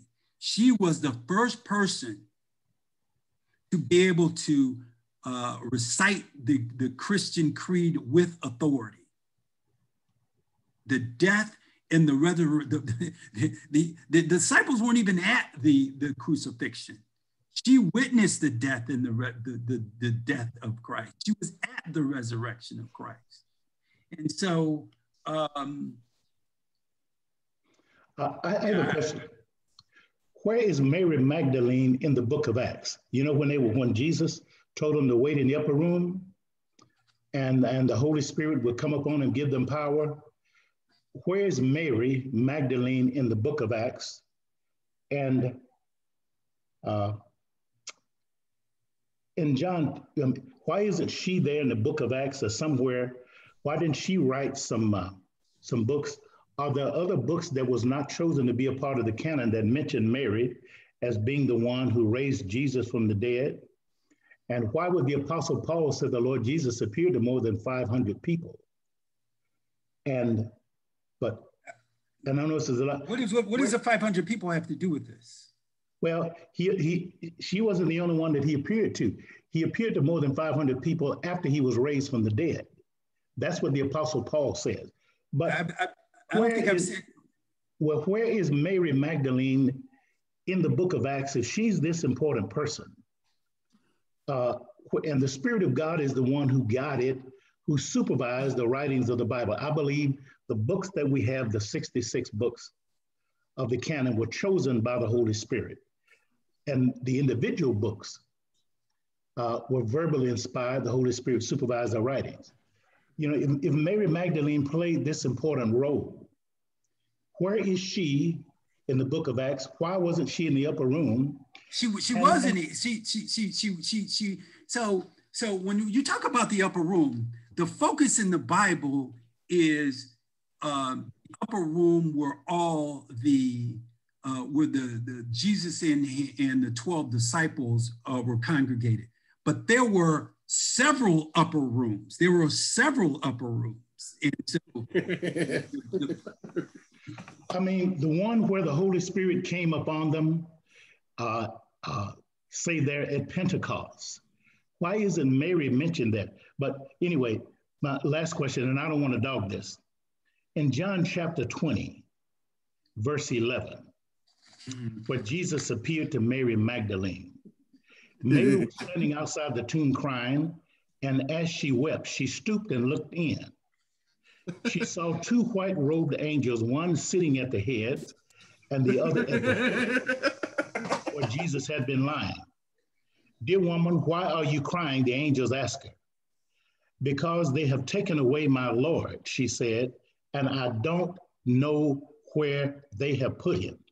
That does not sound like somebody who actually raised him from the dead. If she did that, she would know where he was all along. But this doesn't happen. And she even went on from there to the garden and was talking to the Lord Jesus and didn't recognize him until he revealed himself to her. I, I mean, I'm, not, I mean, I'm if, trying if, to figure out where, where if, are you basing this so, on in scripture? Everything in the Bible that I'm seeing contradicts everything you say everything you say. How do you explain this, the way Mary Magdalene act when she said, they have taken away the body of my Lord. I don't know where they have laid them. How do you explain that in light of somebody who raised them from the dead? So these narratives, these, these narratives uh, didn't begin to show up until more than 40 years after these these these these gospels were not written uh, contemporaneous with the events that that are right. some of these some of these some of these gospels um, the earliest of these gospels didn't show up until 40 years 40 years later But the story, but let, me just, let, me, let me let me finish. Let me finish. Let me finish. And so we already well, you may or may not agree. I think that there was a, a concerted concerted effort by the, the the writers of these gospels to downplay the role uh, that Mary Magdalene played. You look at the Gospel of Phillips. In the Gospel of Phillips, it says, Jesus, why do you why do you prefer Mary over the rest of us? The Gospel of Phillips talks about Jesus um, uh, teaching things that uh, teaching Mary things that that he did not uh, that he did not uh, teach the other disciples. And so there's a wider narrative uh, uh, here, and um, so Well, obviously, obviously, you believe in the inerrant word of of the Bible. I I believe that that that there are inconsistencies in the Bible um, uh, that that have to be managed. I believe the Catholic Church has gone uh, gone a long way to correct some of the misinformation in the Bible and correct some of the female bias in the Bible. And so, Okay, that, that understand, I didn't listen to your entire lecture. I couldn't disagree with you more on what you just said, but I appreciate the discussion. I'll finish when we get to the point where I can talk, you know, and, and uh, after you finished answering questions. I couldn't disagree with you more. Yes, I believe in the inerrancy of scripture. And the Holy Spirit supervised the 66 books that were chosen. The one that was written by Philip, the, the, the, those who compiled the books of the Bible had a way of verifying the authenticity of the books of the Bible, So and that wasn't genuine. The one Philip, it wasn't genuine, and but even though what- these what's your definition of genuine? What- what's your definition of genuine? I mean, it wasn't authentic. It wasn't written by an apostle. Otherwise, it would have been included in here. The Gospel of Philip. I haven't read that. I read it through, but there are several other writings that the early church fathers proved to be apocrypha, proved to be None of these genuine. gospels, th- th- wait a minute, none of these gospels were written by the actual disciples. The disciples, Yes, they were. That's not true. they could not read or write. How, how, how is it, that- how is, how, how is it that they, What John is writing here is supervised, even though it was written decades after the event. All of the books in the they, they were not written by the disciples. Bible record events. They talk about events that happened before the writings. Otherwise, they couldn't write about it. The Gospel of John, I think something was written. Can't Then why does the- that not, why does that not apply to Philip? But- Why does that not apply to the Gospel of Philip? Why does that not apply to the Well- Gospel of Mary Magdalene?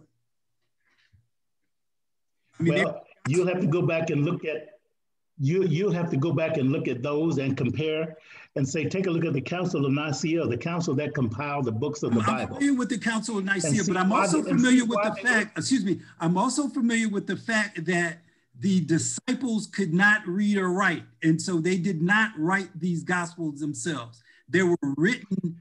No, that's not them. true. That that's Okay, that okay. is not true. I, I Okay. couldn't. What, what's, where's your support okay. for that? Where, where- where's your support for that? Where's your support for that? Uh, I'll wait until. That they actually wrote it. Well, the, the they stated All right, they stated. Paul, Paul wrote his epistles. There's no question. Who's question. that, Charles? Yeah. Or is that yeah, Tim? you mentioned it here. It was my end. Is- I'm not It says it in each at the beginning of each of the books. It tells you who wrote them. Like the book of Acts was written by the physician Luke. Luke was written by Luke, and Acts was written by Luke. Peter All right, states right, it himself right, that he wrote it. all right. But, all right. but It anyway, even says the anyway, gospels yes. are according to whatever. that- According to Gospels according, yeah. Old Testament, New not write these gospels. And if you Patrick, if you think they wrote these gospels, if, if you think that they wrote these gospels, if you think that these gospels were written contemporary, some of these gospels were written after they were after the alleged authors were dead, the alleged authors who could not read or write. There is no question but that they no, no they did not write. Where's your gospels. proof of that? Oh. Where's your proof of that? How do you prove that? Where, where can I go and find that information? The source. The oldest, the oldest extinct copies of the of the scriptures are quite old, about 80 years old at least. So, and they were written in Greek. These these, these they weren't Greek. Greek, some in Greek and Aramaic. Very but little again, was written in Aramaic. To, very very little was in Aramaic. Okay. Oh, I got a uh, question. Go ahead. Mary Magdalene, I'm not much of a Christian. Maybe you guys can help me out here.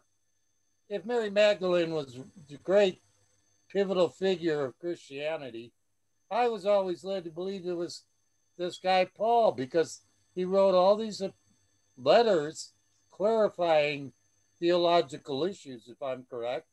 And that's why his letters are read at religious services even today, aren't they?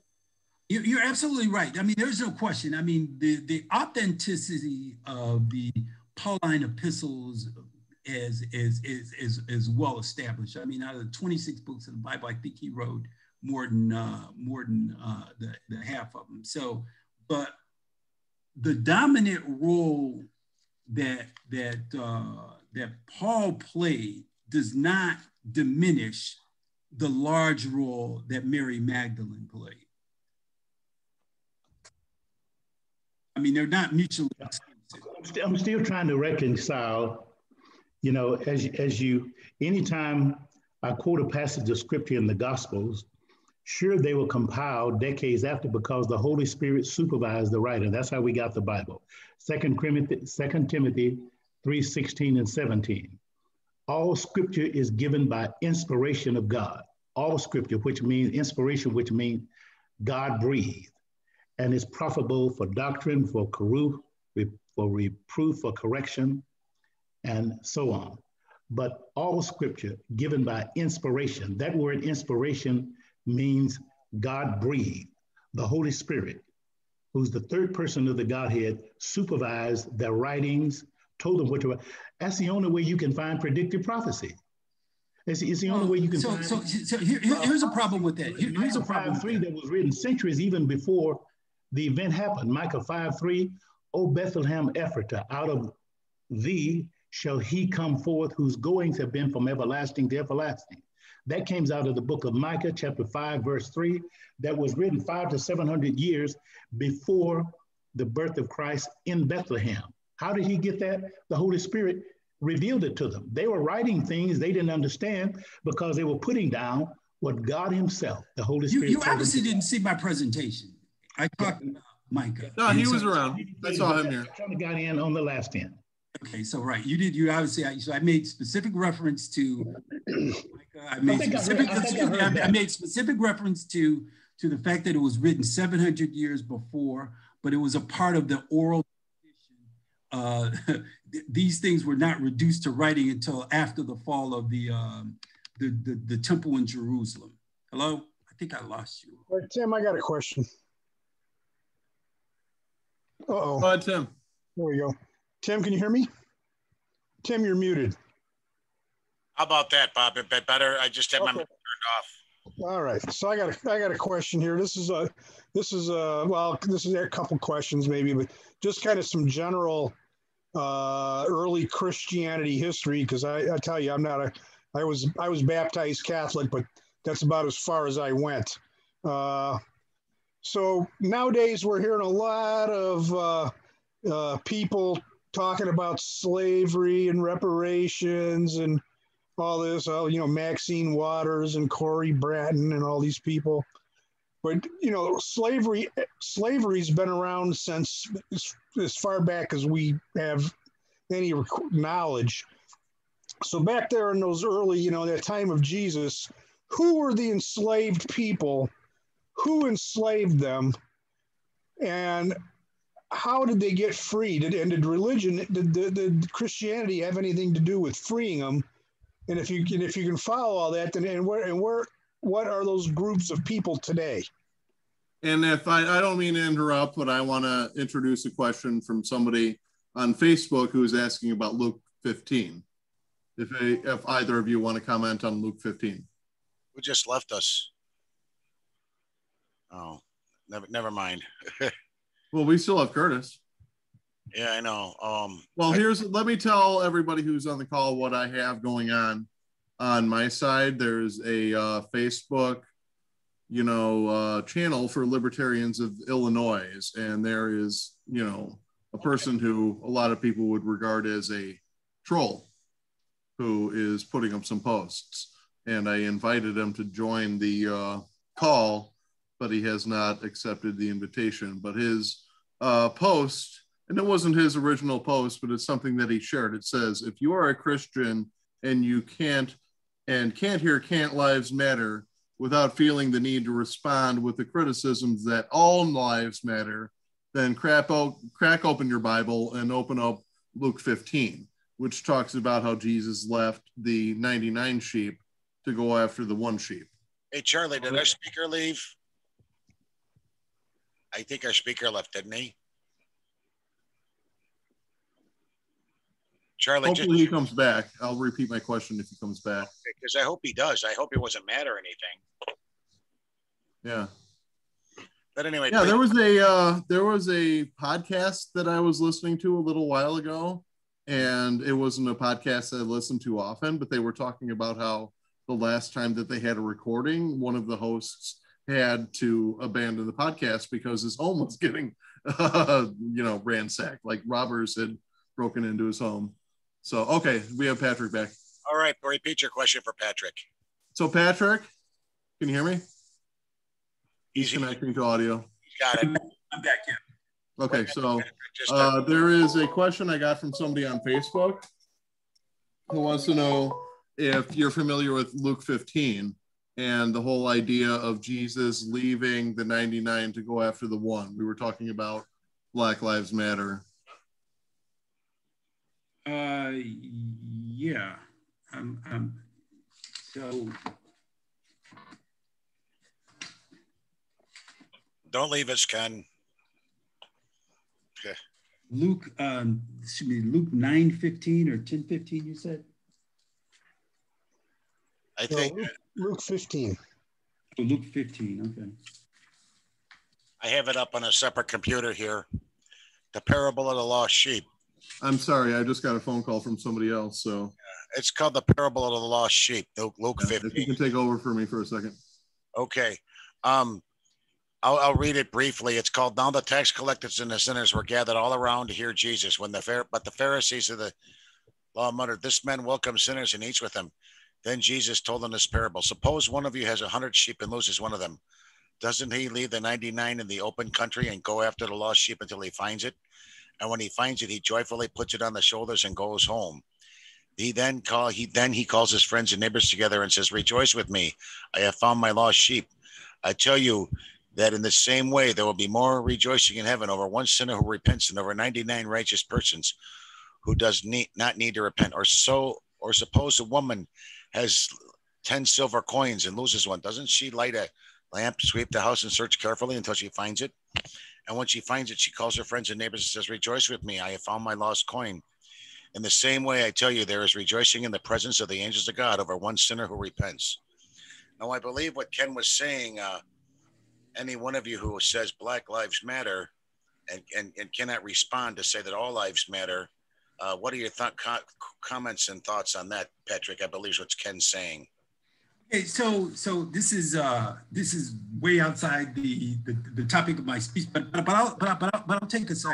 If so, if the problem with all lives matter is if if if if all lives matter now, all lives should have mattered during. I mean, at what point did all lives matter? did all lives begin to matter? Was it during uh, the time uh, that, that, that, that Blacks were in involuntary servitude? Um, did all lives matter during the time that Blacks were segregated in ghettos? Um, did all lives matter when Black people could not uh, go to public parks or um, uh, did, did all lives matter when blacks had to go to the back of the bus? At what point did all lives begin to matter? I agree with, I agree with that. If I, if I could answer that some too. I was reading in the BuzzFeed today, guy written a book about uh, modern day sundown towns. They still exist. You've got to read that article in BuzzFeed. Mm-hmm. Uh, uh, it's still plenty of most of them in the Midwest, but there's still towns that you've got to be out of uh, by midnight. But people who don't know what's meant by Black Lives Matter is Black Lives Matter too. It's exactly. not saying all lives don't matter. If I was marching, I would have a sign, all lives matter, including Black lives. You cannot take a look at the police shootings. If all, I mean, what George Chauvin, what, what Chauvin did, what Michael Slager did to uh, Walter Scott, the whole protest should have started over Michael, what Michael Slager did to Walter Scott, shooting him in the back and placing the gun down next to him. I mean, there's so many examples to where Black lives don't matter as much as white lives.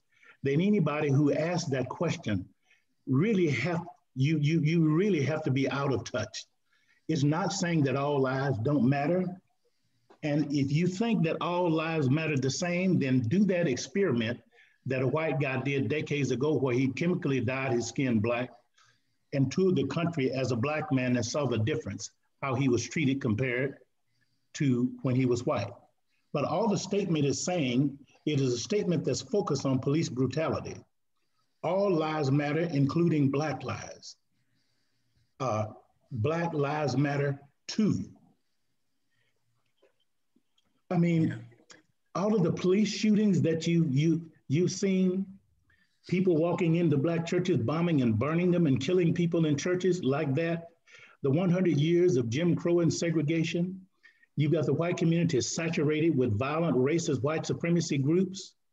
Uh, uh, that nobody says anything about today, what happened on January the 6th, you, there's so many instances of police brutality, killing unarmed black men and women and walking away scot-free, that you cannot say that all lives are treated equal. That's a, that is a, that's simply a hyperbolic rhetoric or something to hide behind. But uh, anybody that asks that question really don't want to know the truth. Right, exactly. I agree. I, Robert, I, I how, how, does that tie in with the with the lost sheep? I don't I don't get the drift with the well, know, the 99 to go get the one sheep. What is what is how does that tie in with Black Lives Matter?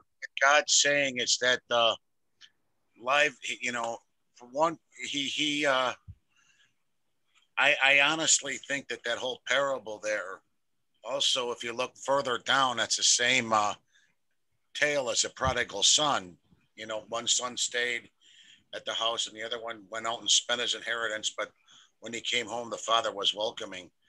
I think that says to Jesus, uh, you know, he welcomes everybody, you know, and, and sometimes he has to work a little extra hard to bring in somebody who's far away. And when he brought him in, okay. Lost. So anyway, can we get back, now can we get back to my my original question? Now, who who were the enslaved people in Jesus's day, and uh, who who enslaved them, and where are they today? Oh, and did religion end it, help end it, or end it? And who are who were those people, and who are they today? Who, what population are they today?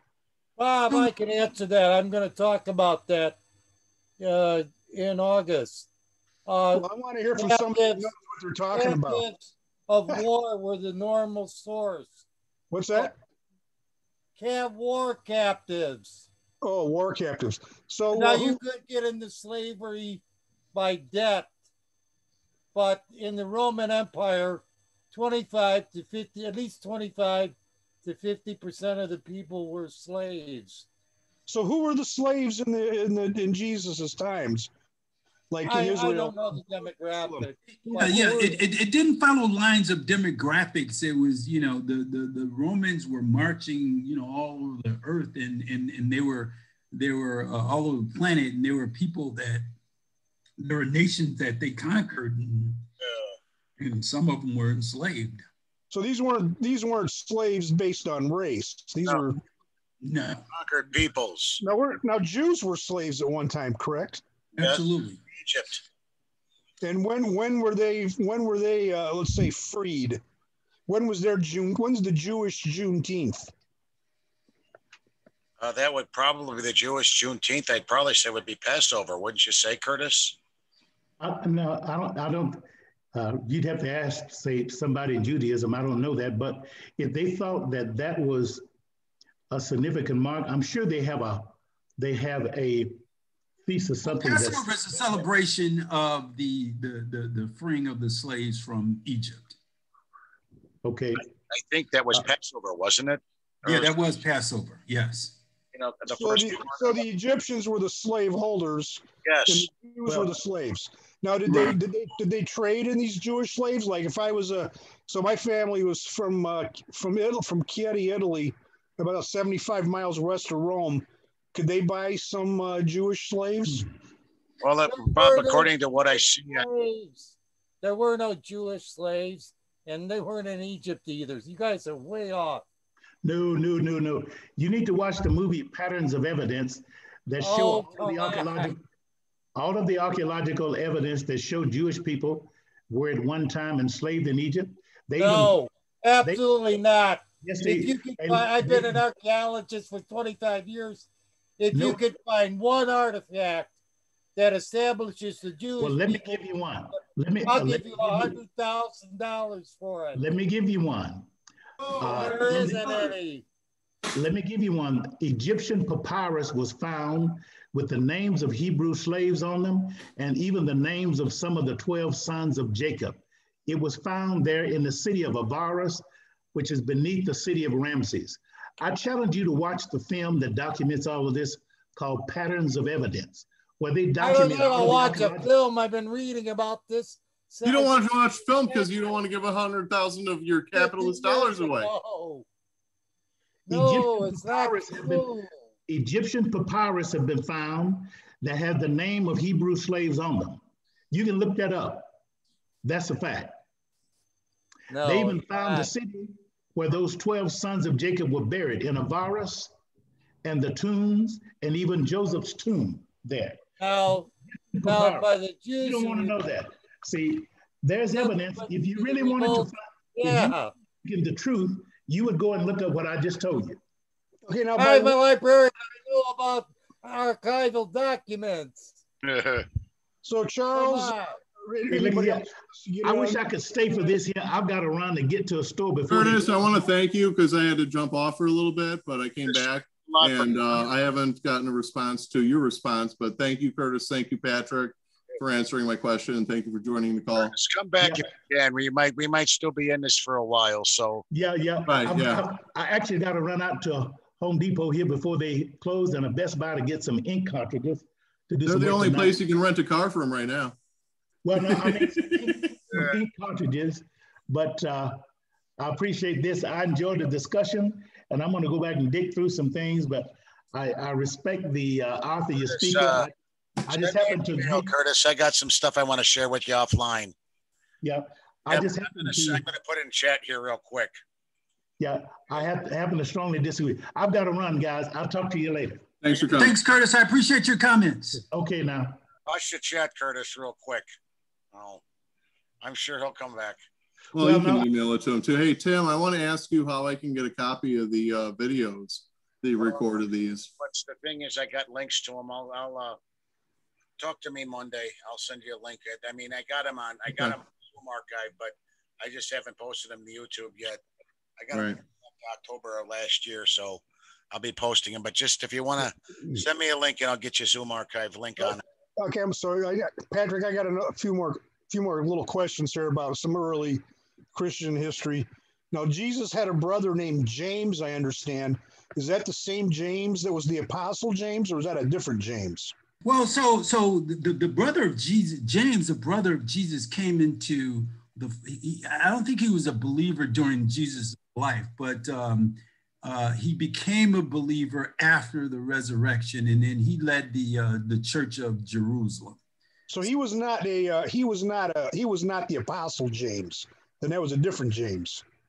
Is that correct? Yeah, yeah, yeah, yeah. His his his, his well, he might have been an apostle after. I mean, apostle is is is someone in who is you know, who spreads the word. And so, I mean, but isn't there a book of James or something though uh, in the Bible? Yes, there is. What's that? Yes, there is a book of James. I'll pull it up real quick. But that's not James, the brother of Jesus. That's a different James. Uh, I'll know in a minute. I, I can answer this in a minute. Um, you know, the thing is about this internet, you can And- always find this And also, uh, what what whatever became of Mary Magdalene? Did she ever marry and have kids, or uh, whatever happened to her? Yeah, some people say that she ended up uh, in um, in in in France, and that she started a movement in France. And if you go to France, there are a lot of uh, monuments to her. Uh, the Virgin Mary, the mother of Jesus, is said to have ended up in Britain. And if you go to Britain, there are a lot of monuments to her. Uh, claim is that her grave, that she actually died in Britain. And, um, and, and so there, there are several monuments to, to, to her in Britain. So Wow, and why why would they have left and gone to Britain and France? because That- they were followed, that- because, I'm sorry, go ahead. That's conspiracy stuff, the Holy Grail. family of Jesus, the descendants of Jesus, the Illuminati. That's not valid. You could be right. You, you might be right. I'm, I- I'm just saying that there's, um, you know, I, I can't say that you're wrong. I'm saying that um, this is, Well, that's that's uh that was at that book and that movie that came out. Uh, Da Vinci Code. Yes. Da Vinci Well, Code, yeah. uh, so the so bloodline Je- of Jesus is is so Jesus charge comes of- back. So Jesus comes back from the dead. How long is he around before he disappears again? Then he never comes back. Well, he resurrected right away. He went straight up. no, no, no, no. He, he no, didn't no, go he straight came up. back because uh, No, he, he came back. He ministered to. That's when he, you know, somebody asked the question: When did he did, did he uh, see the 500? He came back. He went to he he he he, he met with his disciples. Um, Thomas, remember doubting Thomas? Doubting Thomas touched the wound of Jesus. right, right, right. So how, how long was he back before he left again? Then never to return. Never to return. Uh, Well, I, not never. I I thought 500 people didn't actually see him. They said something like, "Jesus is in this room. Can you see him or sense him?" And a bunch of people said, "Yes, yes, I can sense he is here with us." That, that's what they're talking about. All right. You know- yeah, I, don't- yeah, I don't. Yeah, this whole thing is, uh, you know, a little sketchy if you ask me. Um, we you- don't really know if he was really dead when he brought him down. Maybe he was hanging on by a thread, and maybe for three days, maybe Mary Magdalene, you know, nursed him back, you know, uh, back to good enough health where he could walk around and That- show people his wound. what do they call it? The Peter conspiracy or something? yeah, yeah. There, there, there is a conspiracy. Uh, There's a book about a novel written years ago.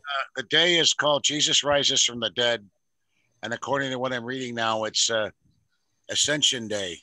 Uh, it is believed that after Jesus' resurrection, he spent the next 40 days teaching his Tim, we're talking about disciples. Jesus didn't die. There was a novel written.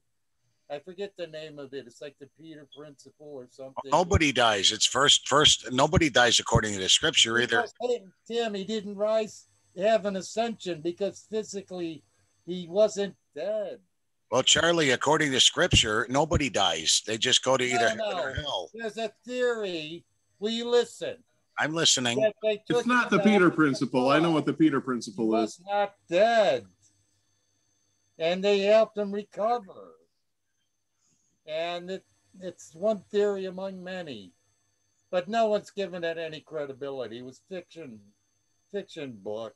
Yeah. Whatever you called it, it's not the Peter principle. I can tell you Yeah, what the Peter no. principle is. I don't know. The Peter principle is somebody gets hired and eventually they get promoted and they get promoted again and they get promoted once again until once, uh, you know, finally they reach a position that they don't have the skills for.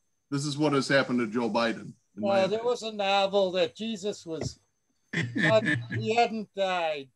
And so they took him down and took him something oh, to help him recover, like regular medical. Otherwise known as a swoon theory.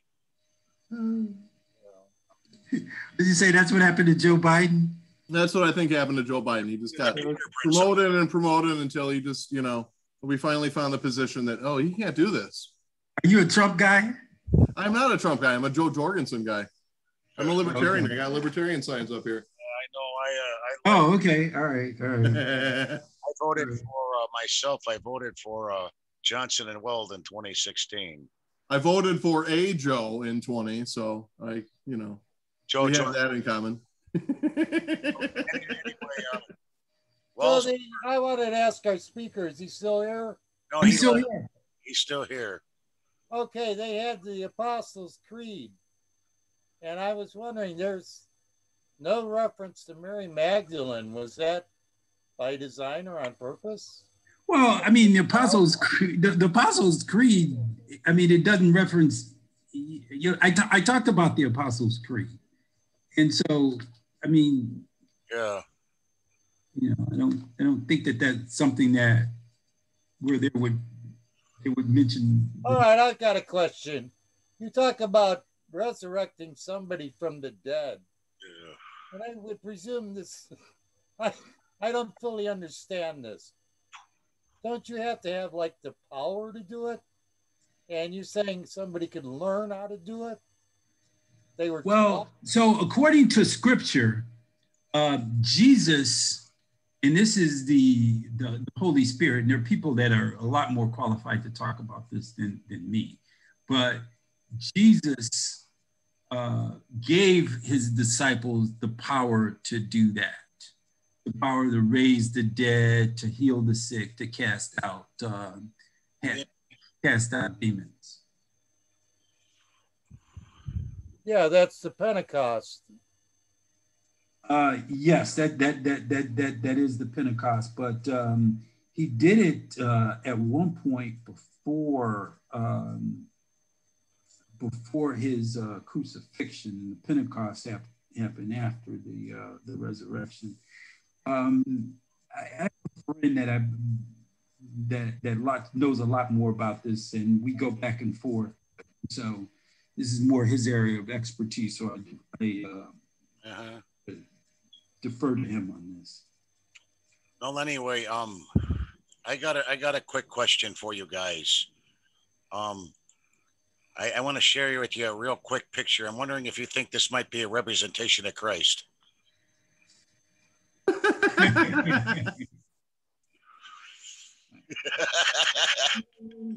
had to get a little levity in here. Never mind. Never mind. I would not be a member of any church that would not welcome that as uh, you know, way to welcome members in it. Let me let me I'm gonna go ahead and share that to my uh St. John's page if I can. My pastor couldn't stop laughing, and he says, "Don't show it around the church, though." He could. So I go to this uh Lutheran church online, St. John's in downtown. It's in my precinct. And I've been attending the online services for a long time. Uh the pastor is leaving. I actually caught his last sermon last Sunday. So I'm looking forward to seeing what the you know interim pastor has for us tomorrow.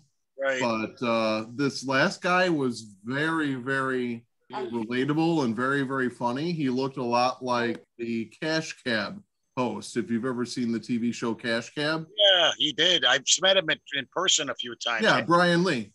Yeah, I met him there. I Yeah, would attend sometimes. My friend Paul. I was astonished to find out that he is five years younger than me.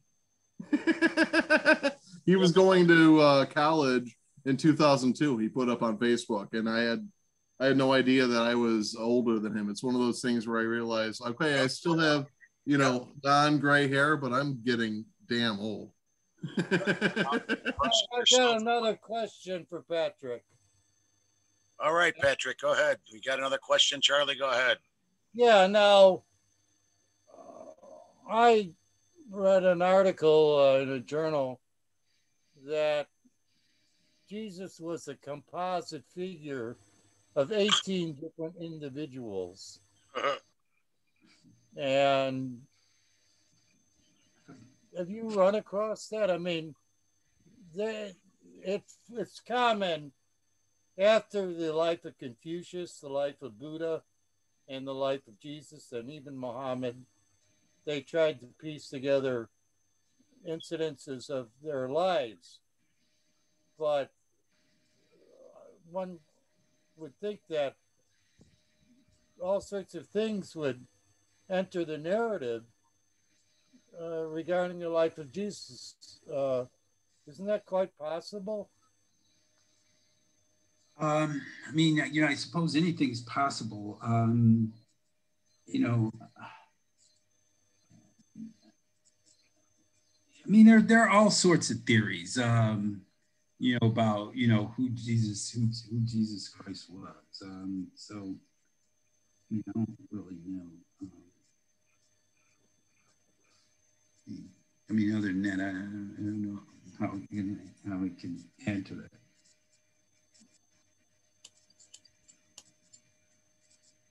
I'm not necessarily bothered by the idea of Jesus not necessarily being a actual person who I, you know, was around back then, but is could still come around. I'm a Lutheran and I really identify with the uh as a libertarian also the uh the whole idea of Martin Luther going and posting on the church door like, hey, a letter. Here, like you th- you you have this wrong here's what you need to address. And I feel like that wasn't only something that happened back then, but it's something that should happen now as well. You don't need to follow all of the doctrine to be a member of the church. Yeah.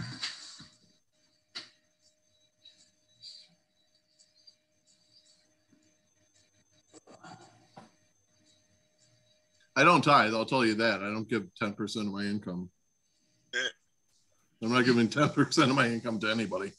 Why don't we, not uh, to church or anybody. why don't we allow the speaker to give a, a summary if you'd like? And let's wrap it in. What about what? Jim. Uh, what about uh, rebuttals, Charlie? Anybody got a rebuttal tonight? You think or I, I think we were way beyond that. what? I'd ask if anybody wants, but Has anybody got a rebuttal tonight or not? I put in what I had to say from the guy on Facebook and he has not responded. So we will assume that Jeremy Chapnick yeah, I only have has one nothing to say. I Okay, do. Go ahead, Charlie. Oh, Uh, there was some reference there to prophecies. Um, and there were, I'm not an expert on this, but there were all sorts of prophecies regarding the Messiah. And in early Christianity, there was a period there where they they hadn't quite decided issues regarding Christ was he a man? Was he a, a portion of a man? Things. What is his nature? Um, various explanations came about, which were later called heresies. Now, it's been God. Many of you may already know this, that the Gospels were written later, and they obviously had to show to establish the divinity of Jesus as the Messiah, that he fulfilled the prophecies.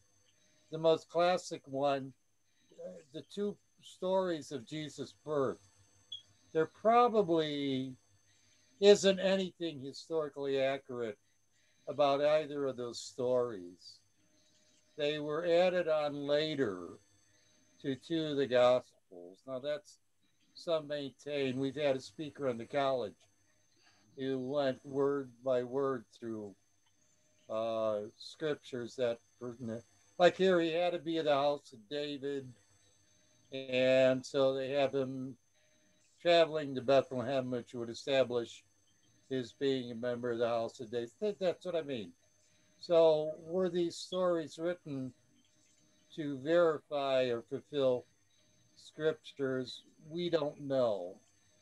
Um, but you have to keep that in mind. That's that's the thing about how these were written. Uh, also, there were disputes uh, among early Christians. Um, and finally, the scriptures were, if you wish, stylized to present an answer to the questions, to settle any questions that were there. So that's what I mean. You've got to look at these carefully. Um, I've actually spent many years looking in search of the historical Jesus. Uh, Albert Schweitzer, notably, uh, the the guy, the figure from missionary work, um, was a very leading scholar on this. Also, they had a, a Jesus scholar at DePaul, the Jesus Project, um, which is very, if you, a very famous project to establish uh, whether or not scriptures were accurate or not. Uh, so things regarding the resurrection, I vaguely recollect as among the theologians, there virtually was no agreement as to what actually happened. They could agree on other parts of the life of Jesus. But when it came to that, I do recollect that uh, there was absolutely no agreement whatsoever regarding the circumstances of that. And I'll leave it at that. Very good, Patrick. Thank you very much. You seem to put in a lot of time and effort, and we appreciate your speaking here tonight. Thank you. Okay. Thank you uh, for the invitation, and um, I'm going to be uh, uh, following you guys uh, in the lineup. I, I, I'm on the mailing list, and so um, I will I will see you guys soon. All right, Patrick. Uh, listen, I thank you for coming in. All right, since nobody else has a rebuttal, Patrick, you got the last word. I think you just put it in. Otherwise, what we'll do is I'll just uh, um, uh, officially stop the recording, and then we can chat for a little while afterwards if you'd like. So this will conclude tonight's College of Complex.